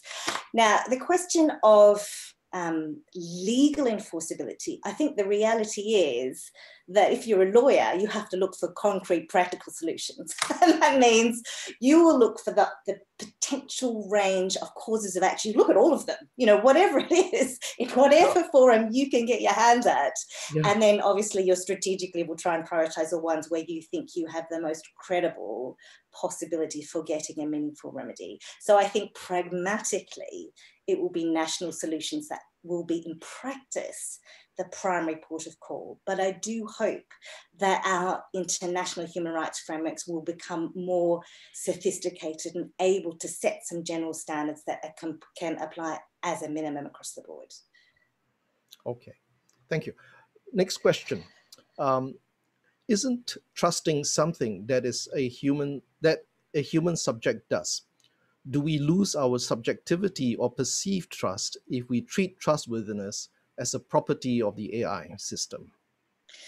Yeah, so that's a good question. When when I refer to a system, you're quite right. I'm referring to more than the, the technical part of the system. Yeah, I'm referring to the whole complex socio-technical system, which means the interaction of not just the technical system, but also the organizational context, the larger political, cultural, and legal context in which it's operated, and particularly the interaction between the individuals who come into contact with the, with the technical system and its outputs. So the whole kit and caboodle, if you like. So to refer to trustworthy AI as a property, I've been in a very general amorphous sense in relation to the entire system. So in, a, in that sense, I guess it's not a scientific concept per se. I'm not sure whether that helps, but I hope so. Thank you. Next question. Um, the audience says, Hi, Prof. Yeung, many thanks for your sharing. Could you please explain what kind of human rights should and could be protected by trustworthy AI? Okay, so let's think about um, online, online content platforms, which you've been thinking about. So the starting point is, and again, only if you believe in democracy and uh, freedom and individual autonomy. If you don't, if you think that's not the way our community wants to live, then why would you care about free speech? You wouldn't. So I don't want to necessarily say this should have. I mean, obviously, I would in in the world that I would create if I was king, free speech would prevail. But I yes. respect that it's up to individual communities decide on what the good life is. So if the good life is a vision of a democratic community, then if you start with the relevant rights that affect that space, then freedom of expression is one. But the right to private life is another, as is the right to security and liberty, as is the right to due process and fair procedure. Now, the law has in many, many contexts, and this is one of the things that the values of, of using a human rights framework, we have this huge body of, of authoritative precedent where courts have had to wrestle with these questions, admittedly with all kinds of technology, okay, but the, the, the nature of the conflicts are quite familiar. Now, the thing that's really challenging, I think, in relation to online platforms is the problem of scale and the problem of speed. And this is where the automated systems become really important. But the hmm. reality is, however many human moderators you have, unless you have millions and millions, you are not going to keep pace with the automated systems. And that, I think, is where we still really haven't recognized that my own view is if these platforms take the benefit of automated systems, then they need to take the burden as well. And that means attributing responsibility. If stuff gets out that shouldn't have gone out, then on your head be it. And I just don't think because we have automated systems, it doesn't exculpate us from the responsibility for the impact that we have in the world. And they'll say, well, we just can't manage it. Well, I said, if it's not right, then don't put it out there. That's what I say to my children. I think it's a good universal principle. But of course, the pushback will be, well, that's unrealistic. And then we won't have all of this fantastic development. I think that's an empirical claim and it remains to be seen. I have uh, one one last question uh, from the audience. Um, let's see whether we, we can try answer this. It says, uh, Doc, uh, "Dear Professor Yeung, as you mentioned, there are lots of forces we need to make AI trustworthy. Who do you think should be responsible for unethical practice of AI?" Okay, so two questions there. What do we mean by responsible what do we mean by unethical? um, and actually, I've read, I read a report for the Council of Europe on responsibility for AI from a human rights framework.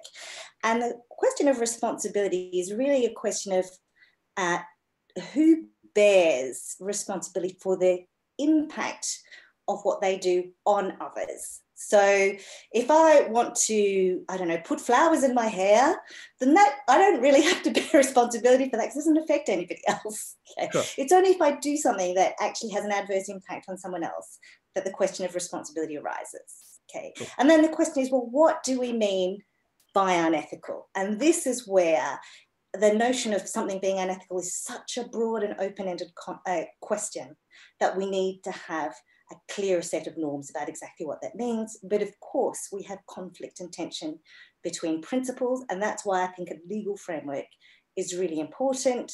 And the law has been doing that for a very long time, allocating responsibility. It's one of its core tasks.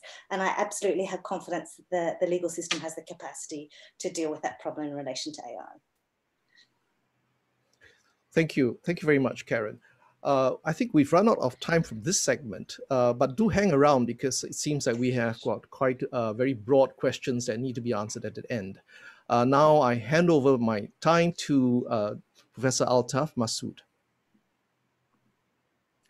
Thank you, Harry.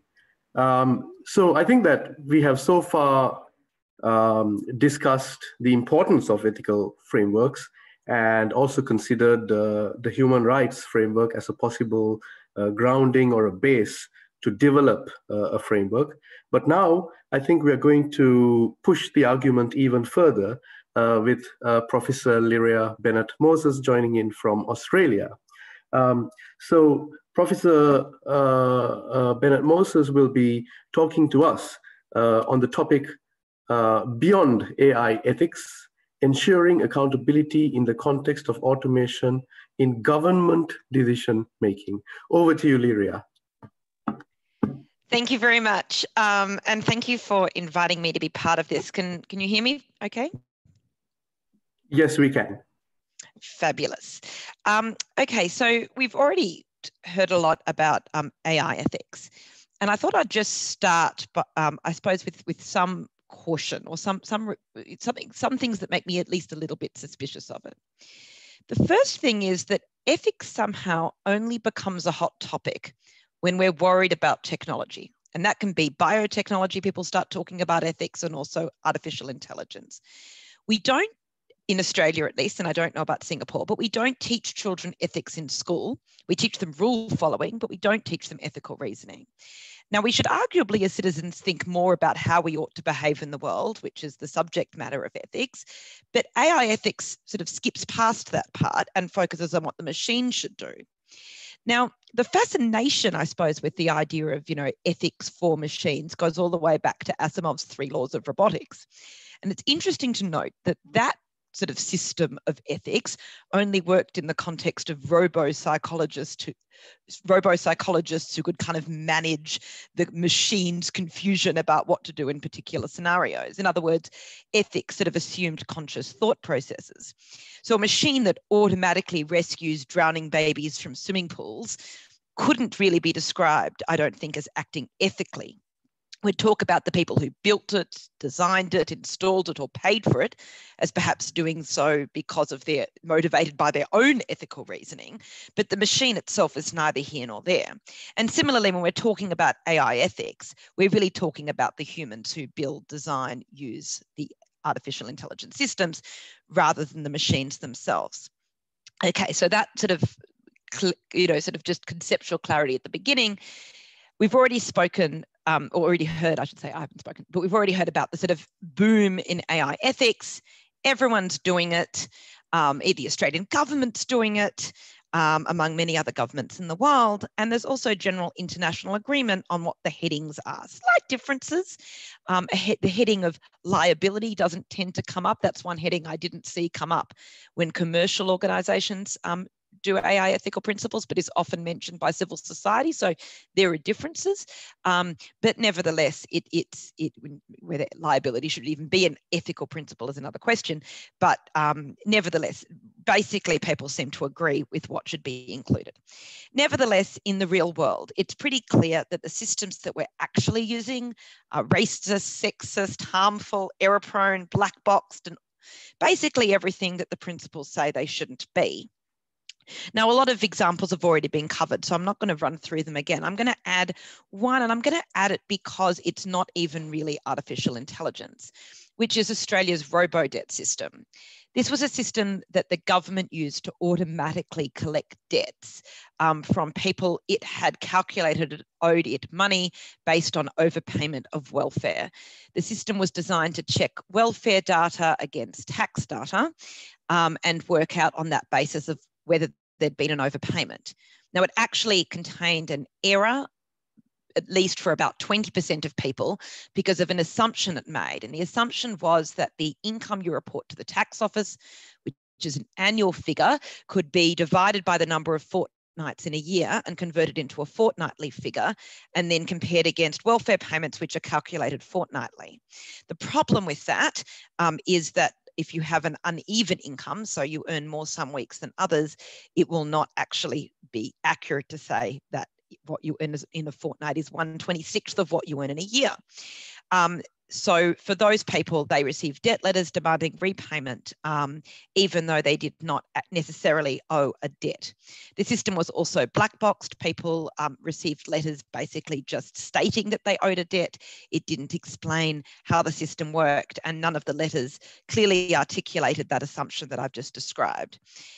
Further, it was badly run. Communications with um, citizens, customers were confusing. It was understaffed. So when you tried to call the hotline, you couldn't get through. And it hurt the most disadvantaged Australians, um, some of whom ultimately committed suicide um, because they were, you know, because of the impact on their mental health of receiving debt letters for amounts they couldn't afford to pay.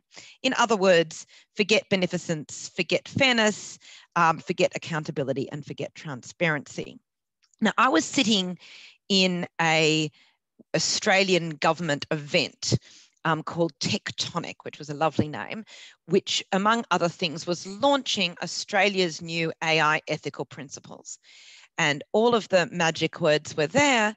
And RoboDebt was actually in operation at the same time as this event. In other words, the two were happening simultaneously. There was some kind of cognitive dissonance between the idea that one could articulate all these things that AI should do and yet run a system that was so poorly um, implemented.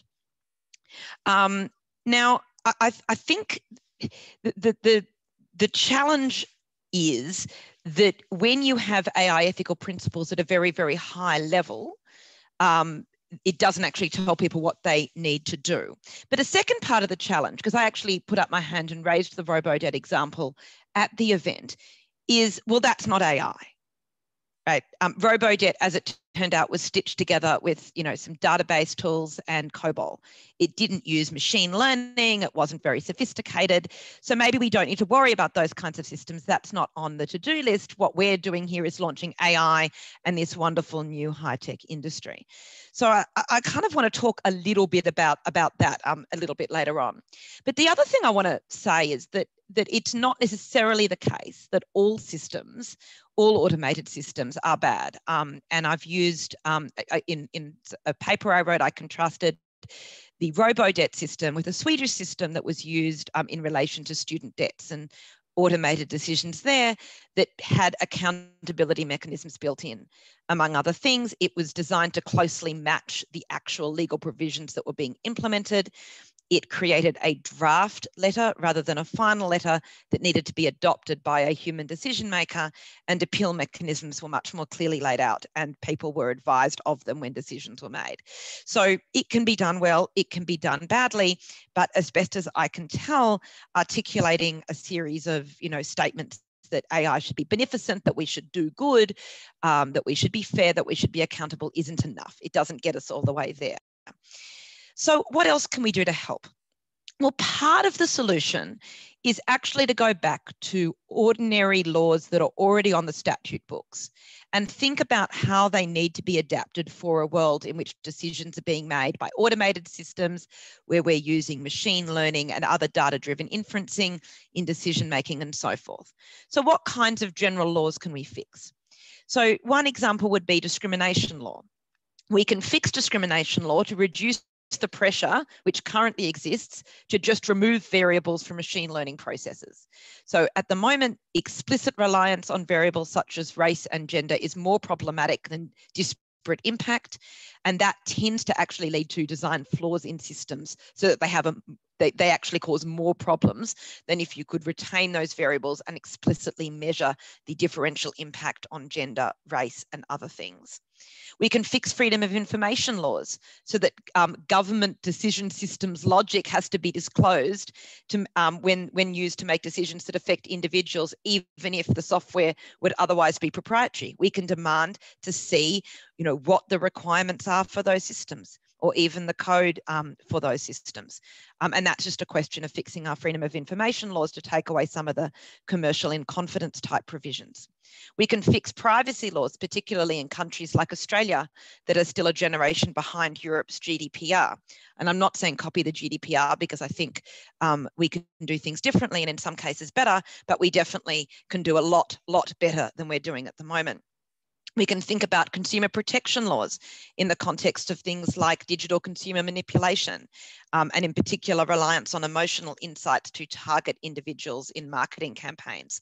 So we can absolutely go back to, I suppose, a lot of our very generally worded laws and think how well are they applying in this new context? And how can we tweak them or change them so that they apply in ways to deliver the goals for which those laws were originally intended? Because sometimes the way the laws are worded is actually causing more problems. Okay. Second thing is, in some contexts, we want to actually regulate the technology fairly directly. We actually want to think, okay, we can have laws that are about particular technical practices.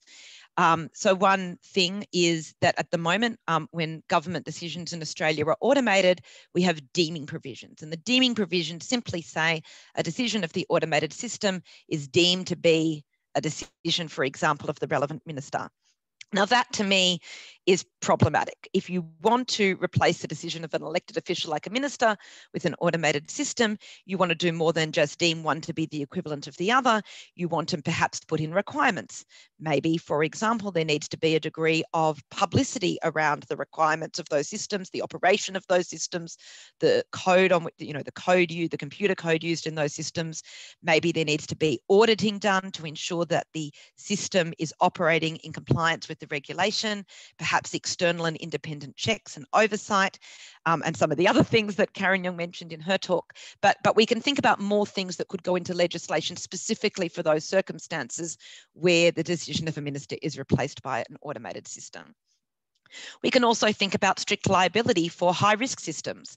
So for example, perhaps certain categories of drones, we need a strict liability to ensure that anyone harmed ultimately has an ability to recover from some entity, whether that's the manufacturer, the distributor or whoever, but clear liability attached to someone to ensure that um, when harm is caused, there's a clear target for damages because the person actually operating that system, the consumer, um, probably is pretty um, damages proof. Um, now, while regulating technology directly is sometimes the best way to manage a problem, and in particular where the technological context is central to what the regulation is trying to do, it's also important to recognize that sometimes this is the wrong approach. And I would argue that in the case of things like explainability and transparency requirements, it's not really just about the use of AI. And the first problem is the one I mentioned right at the start, the scoping challenge. So what is AI? If we're going to link explainability and transparency requirements to AI, do we lose them for things like robo-debt? Or if we do what Europe does and link it to automated processing, uh, do we have issues because it has to be solely automated processing? And then we can end up in debates around, you know, human rubber stamps in the loop and, and, and so forth. Um, so I think that the first challenge is by limiting explainability and transparency requirements to some technological domain, um, we're going to miss many of the problems that real systems are causing. Um, many problems are simply about automation. Many problems are simply about statistical reasoning and logics, in particular fairness problems, where AI isn't even being used. Um, and an example of that is predictive policing. So predictive policing systems, which can cause huge amounts of bias, are sometimes simply Excel spreadsheets. They're not necessarily machine learning. They can be, but not always. And we want to capture the kinds of bias problems um, raised by that and the kinds of necessary accountability raised by that um, without limiting it to a technological domain where that would be excluded. But more broadly than that, um, I think the next question is why ought things like explainability and transparency be different simply because a decision is automated or involves particular, say, machine learning or artificial intelligence techniques. I would argue that we want certain decisions to be transparent, not because of the technology used, but because of the kind of decision that it is. And different kinds of decisions require different kinds of explanations. So in common law reasoning, it's often about counterfactuals um, you know, highlighting what are material facts in a case, why different cases might be different because of different material facts, and so forth. Counterfactuals are often used in decision making. So if you had turned up to work on time, you would not have been fired, is quite a helpful way to explain to someone why they lost their job. Um, administrative decisions are often about statutory criteria, which ones aren't met, and what evidence there was that it wasn't met. Um, sometimes the only real transparency that a decision needs to have is that it was not made for a particular reason. So, for example, perhaps employment decisions can be made for many different reasons, and you don't need to fully justify them, but you absolutely cannot make them because of someone's race. Um, so, so there's all sorts of different contexts that we need to recognize just in the way that law works and in the way I would argue law should work, that requires different levels of transparency or different levels of explainability depending on the context of, of the decision. So once we understand the context, we can ask what kind of transparency is required or what kind of explanation must be given.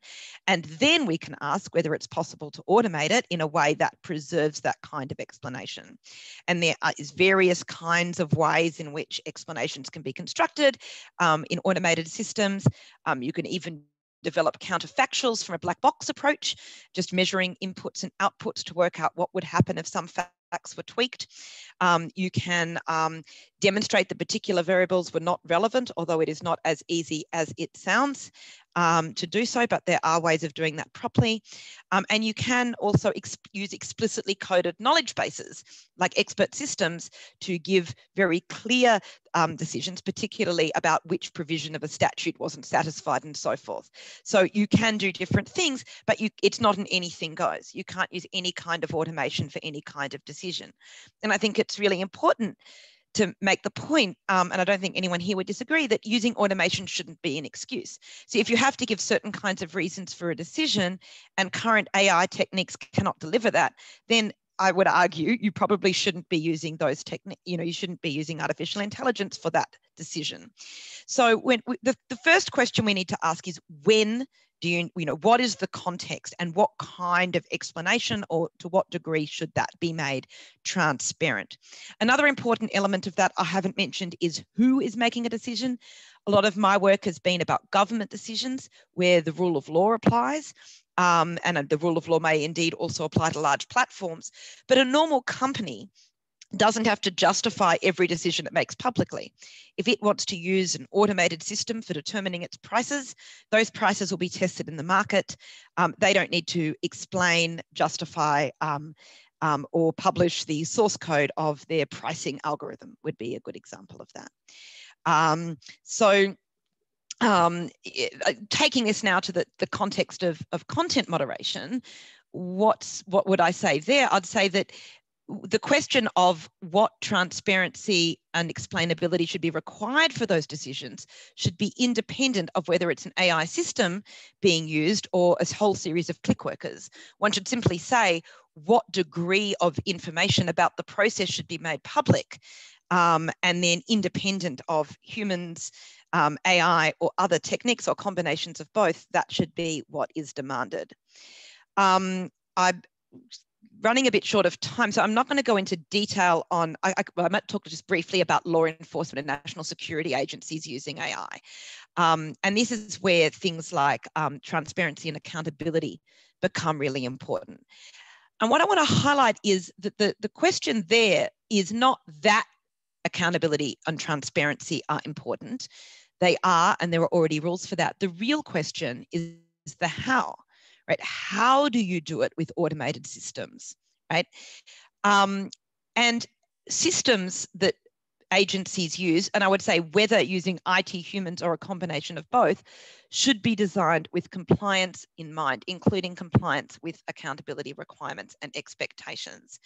Um, so um, decisions based on inferences from data processing should be subject to appropriate internal governance as well as auditing, effective ministerial oversight and accountability, as well as external independent oversight to which those agencies are in any event subject. Um, now, you need accountability for the overall system, and this does have an impact on automation. So, why? So, if you have a human system making decisions about national security, law enforcement, and so forth, um, and someone stuffs up, um, ultimately, the oversight systems are such that humans can go to jail you know, in certain circumstances if they do the wrong thing. Humans sit through extended training on their legal responsibilities. Humans get regularly reminded of penalties for breach. Um, and so the accountability mechanisms loops through humans, right? And there's no real way to have accountability without human accountability that does so what that means is that responsibility is ultimately taken by someone with a conscience and a body that can be thrown in jail um, so where decisions are based on automated processes, so data, data processing and so forth, you still need to have accountable human decision makers with a sufficient understanding of the provenance, the meaning and the quality of the data, any sources of incompatibility among the meanings and qualities of different sources of data, um, you know, the analytical procedures used, any biases and weaknesses in the analytical process, and you need the human to take responsibility for that so that if there is something that goes wrong, the accountability mechanisms that are already in place can link onto those humans and ensure that um, there are consequences. Um, and there simply isn't a good way of doing that without a human in the loop. So, human in the loop is important, um, not because I want to sort of specifically focus on regulating artificial intelligence. Human in the loop is important because accountability is important. And we need to work out how to get accountability. And in the context of law enforcement agencies and the kinds of um, um, powers they have, the only way to get that that we know of is through humans that are made accountable. So that it, it's not about regulating the systems, it's about understanding the how of the general regulation and thinking about how that can be achieved. So transparency, returning to that point, agency powers um, need to be in a transparent framework um, that can be easily understood by the public and those potent- in particular those potentially adversely affected by decisions. Operational secrecy should be limited to circumstances in which it's reasonably necessary and decisions to keep information secret should themselves be accountable when procuring systems, that has to be done with regard to the extent to which software can form part of an accountable decision-making system um, and, and, and, with a strong eye in particular to any contractual terms, um, in particular as to intellectual property rights that would otherwise restrict transparency.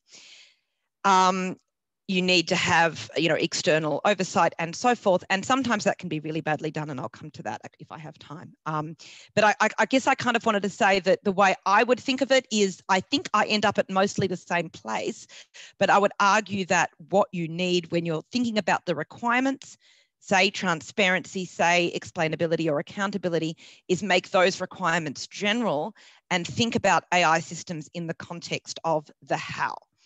So what do I want to say about the how? Um, thinking about um, how you actually do that, uh, the current ethical principles for AI don't tell you much about the how. You'll find a lot more in technical standards, many of which are still in draft and therefore not publicly available. But the ISO, um, um, IEC Joint Technical Committee is working on management system standards, data quality standards, risk management standards, trust trustworthiness standards and bias standards. IEEE is working on its own transparency, data privacy, bias, and trustworthiness standards. Standards can be concrete, they can be a real guide for those designing, building, or governing systems, and they also involve international collaboration. Um, negatives is they themselves aren't fully transparent, and in particular, there's a fee to purchase them to find out what they contain. They're not part of national law unless adopted, um, and so not um, directly enforceable, although they can have certification elements. So um, you can have a process of certification, and you can have government incentives to be certified, including through procurement processes. So they work if people demand systems meet particular standards when used for particular purposes, um, but they don't just work simply because there's a standard. So, wrapping up, I agree that good governance is essential, although I would argue this should be integrated into broader questions of good governance rather than just viewed in technical isolation. And I'm not saying anyone argued to the contrary. I, I think I would just, you know, slightly tweak the context in which the questions are asked. Um, I think government can stop writing ethical principles and start looking at good governance for their own use of AI systems and how they go about outsourcing and how they go about the procurement process. So I completely agree with the don't look at what people say, but what they do point. Independent oversight mechanisms, I would also agree, are crucial. Um, I would also agree that they need sufficient jurisdiction, resources, powers, and expertise. And I would say they're not in place yet in all sectors where it's important, and they need to be re examined in light of new technologies, including artificial intelligence.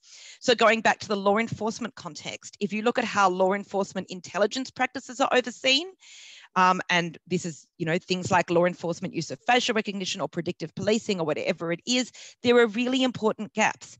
And the gaps arise because, largely because of the very strong reliance of most oversight systems for law enforcement on complaints to initiate the jurisdiction of the oversight mechanism. And the fact that realistically, you don't know if you're in a virtual lineup using facial recognition techniques, and you probably don't know if predictive policing is being used unless there's been a media story, story about it. So we need to think about oversight that doesn't rely on people making complaints. We need contestable decisions, yes, but we need to go beyond contestability of decisions to oversight um, of, um, of, of the sort of more strategic high level adoption of particular technologies. But so where do I differ? I think is that I want to see things beyond any specific technical category. I don't want to end up in arguments that particular um, rules that have been written for AI, solely automated processing, or other words we might want to use don't apply to real systems being used and hurting real people because they're outside of scope. Um, I've mentioned Robodebt as an example of that and predictive policing systems that are based on Excel spreadsheets. All of this should be in scope. Um, we do need context specific understanding on the technical context. So I'm not saying we just say, well, the rules that exist are enough. Some of the rules aren't working well when applied in particular to things like machine learning. So we do need to adapt those rules. And we really need to think about the how questions um, because the how questions will often be quite technically specific.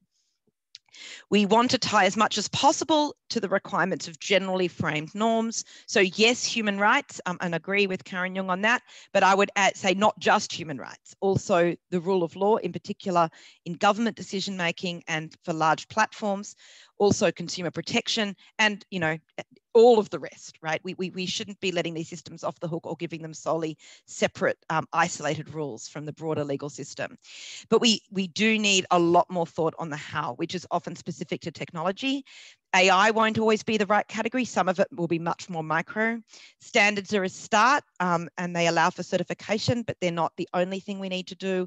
We need to think about government procurement processes. I still think that is a really good way and a much better way for government to influence what industry does than coming up with more AI ethical principles. Um, and um, yeah, so maybe maybe I'll, I'll stop there. I won't have any time at all for questions. Um, but um, thank you very much um, for having me. Thank you very much, uh, Lyria, for that illuminating uh, talk. Uh, I think that you have left us with a lot of questions to actually consider for, for our own research project. Um, and uh, it just shows that regulating AI is simply uh, far more uh, difficult than we ever thought of. Um, there's one there's one question that has come up from the audience uh, to you. And this, I think, concerns the issue regarding bias uh, that you mentioned.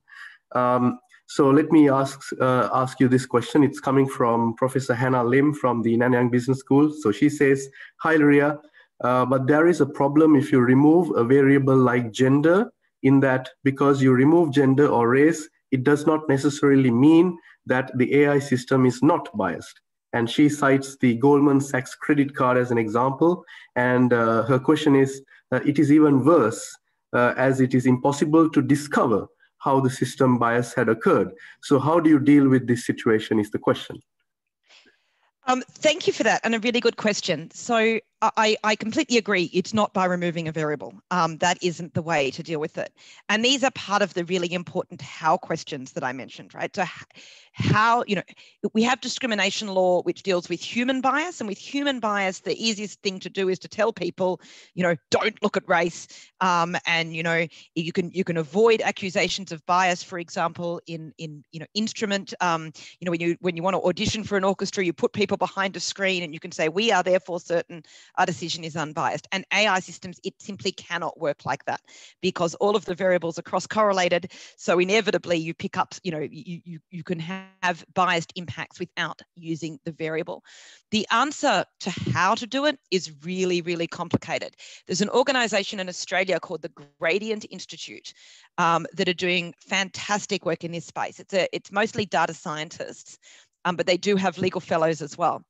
But what what they're doing is looking at the fact that there's no such thing as perfect fairness, right? Because it's a subjective value anyway. So what you can't do is simply say, you know, it must be fair according to this one unifying metric that all systems must satisfy. What you can do is help people visualize the differential impact of systems with different variables on different communities. In other words, what they're working on is creating visualizations that say, for example, if you do this, this will be the disparate impact, for example, on Indigenous Australians or on women or on anything else. If you tweak the variables in this way, you can watch the graph move in terms of what proportion of women you're likely to hire or whatever the, the algorithm is doing. So it's not saying remove the variable. It's in fact saying keep the variable in because we can't do this kind of gender sensitive, race sensitive modeling of impact if you simply remove it. It's saying keep the variable in, but understand the way in which the choices you're making in your algorithm um, and what you're, you know, because you're trying to optimize a whole range of things when you're building these systems, but understand in addition to all the things you know you're trying to optimize, understand and visualize what the impact will be and what the differential impact will be on particular communities. So there are approaches. Um, that's one approach um, from the Gradient Institute, and I know there are others. I don't think I have time, or for that matter, the technical expertise to talk through all of them. But it's hard. It's not easy. Um, and it might, the, the, kind of fairness required might also depend on the system, but there are techniques that can be used. Um, and we do need um, helpful standards, among other things, that what the bias standards are trying to do to describe some of the different kinds of bias or the different ways in which systems can be biased and in what circumstances different kinds of bias are problematic. Thank you, Lyria. I think we have just time for one more question for you. Um, so one of the things that I uh, saw, I mean, I, I sort of uh, uh, discovered in your talk is that there is a need for transparency. And particularly when governments start using AI, I think there is a greater degree of transparency that is required. Uh, and, um, and, and especially because unless people know, unless citizens know that their rights are affected by some kind of AI making decisions, uh, they're not going to be able to challenge those decisions and, and sort of resort to judicial review of administrative action. So transparency is key in, in essence to sort of uh, ensure that you have your rights uh, and enforce your rights in that sense. So there's a question uh, that has come uh, uh, to you. and the question is, how can we really expect a greater degree of transparency and I guess in some cases, when governments themselves uh, do not adhere to transparency in that sense. So, how can we have better accountability and transparency? Um, I think that's, you know, I mean, that's a very big question, um, very hard to answer in, in a couple of minutes. Um, there are there are certainly government efforts in the broad scale to be more transparent. There's the Open Government Partnership, I think it's called, um, and and other things. And I'm not pretending, you know, again, you know, fairyland um, that governments are perfectly transparent in everything they do. They're not.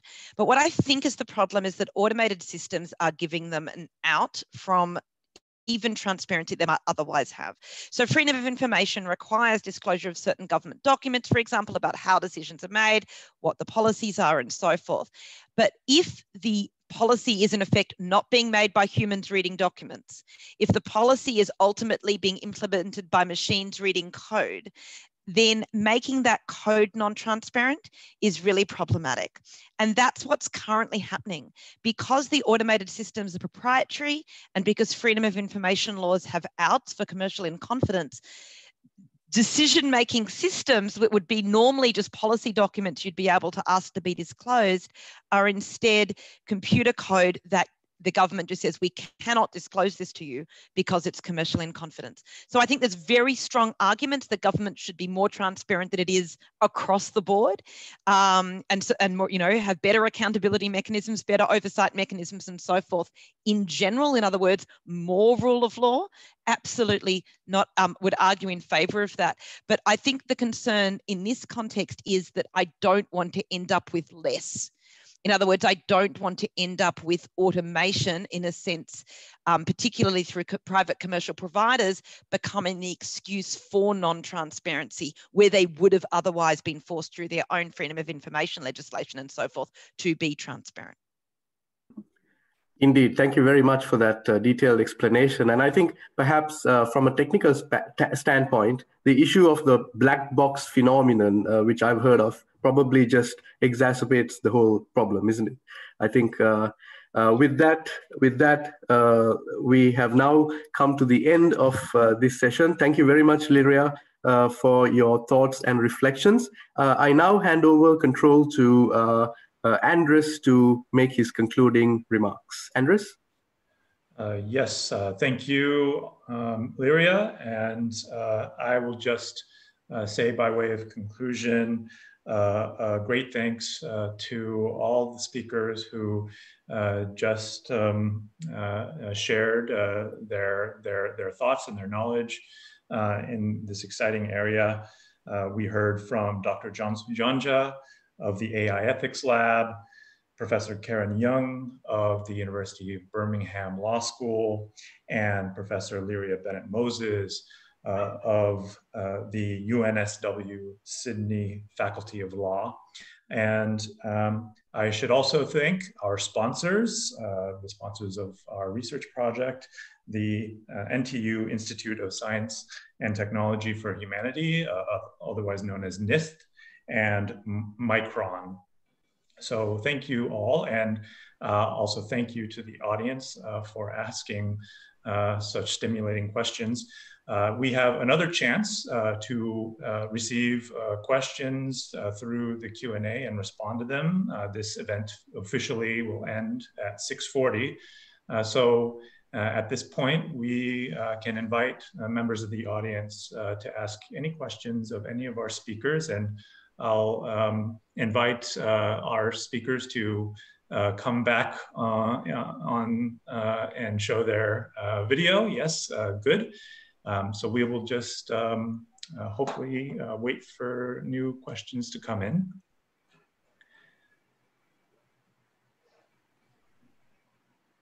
Okay. Um, how can we, one question is how can we get in touch with you all? Um, so that's an easy one. I should just um, say that we have a web page uh, uh, associated with this event uh, and we will um, just share the link in the chat uh, so uh, that you can um, uh, find our contact details, um, particularly the speaker's contact details.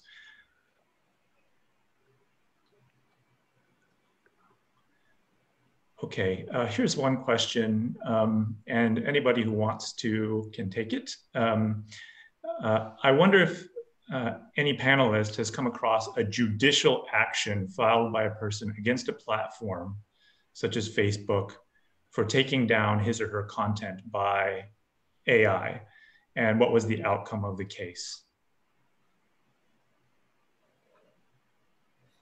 I'm afraid I don't have an answer to that because I'm not a specialist media lawyer, but my gut feeling is there have been quite a few. So I'm sorry I can't answer that one.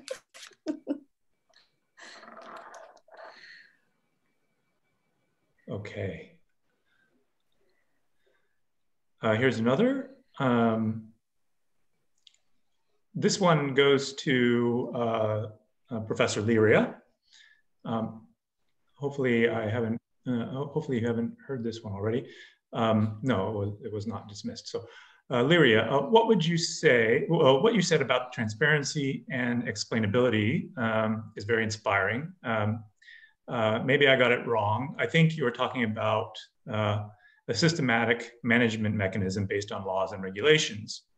Without ethical considerations, will the implementation of the system be thorough enough? Uh, is it easy to have moral blind spots? Okay, so a lot of questions there. Let's see. Let's see how I go at, at, at getting them all. Um, so what I'm talking about in terms of things like transparency and explainability is starting from existing requirements. We already have rules about you know reasons needing to be given for certain kinds of decisions, about um, transparency being required in certain kinds of ways, um, but but but not fully, right? Like we not we don't demand that all companies are fully and transparent about all of their decisions. Um, we have quite specific requirements, and they are frequently found in ordinary general laws um, and a whole range of very different laws.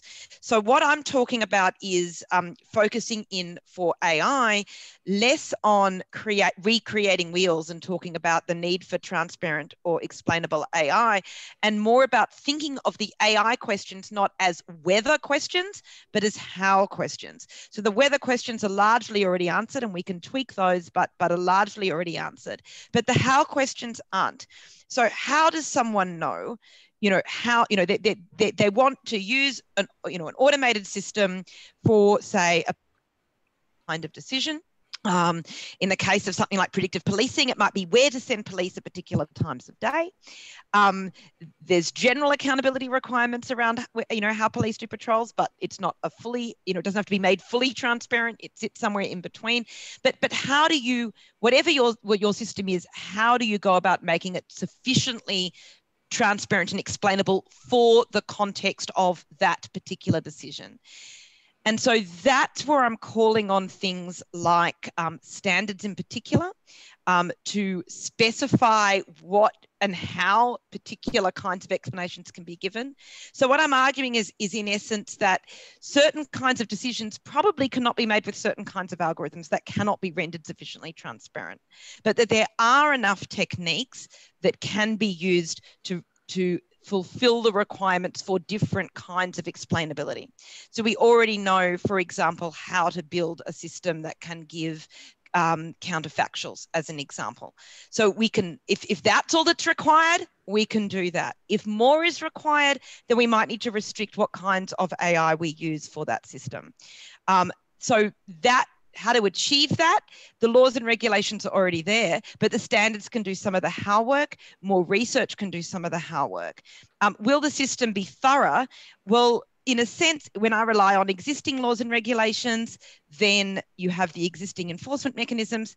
When I'm relying on technical standards, um, you can certify against those standards, and some standards require external audits. So you can absolutely have systems for checking on that. Is it easy to have moral blind spots? Always, um, but I'm not sure it's it's easy it, it, well, I'm not sure that, you know, and, and, even compliance blind spots, right? People, you know, organizations break the law all the time, intentionally or accidentally. Um, but you, what all, all you can hope for, I suppose, is, is to minimize that through um, generally operating rules, really good technical standards, um, good um, requirements and good governance within organizations, particularly government So you can do things to make it better, um, but yes, there'll always be blind spots. Thank you. yes. sure, Cansu. I think um, in terms of transparency, like from the ethics perspective, so I'm not coming from the law perspective, I don't know nothing about the legal question, how to deal with the legal aspect.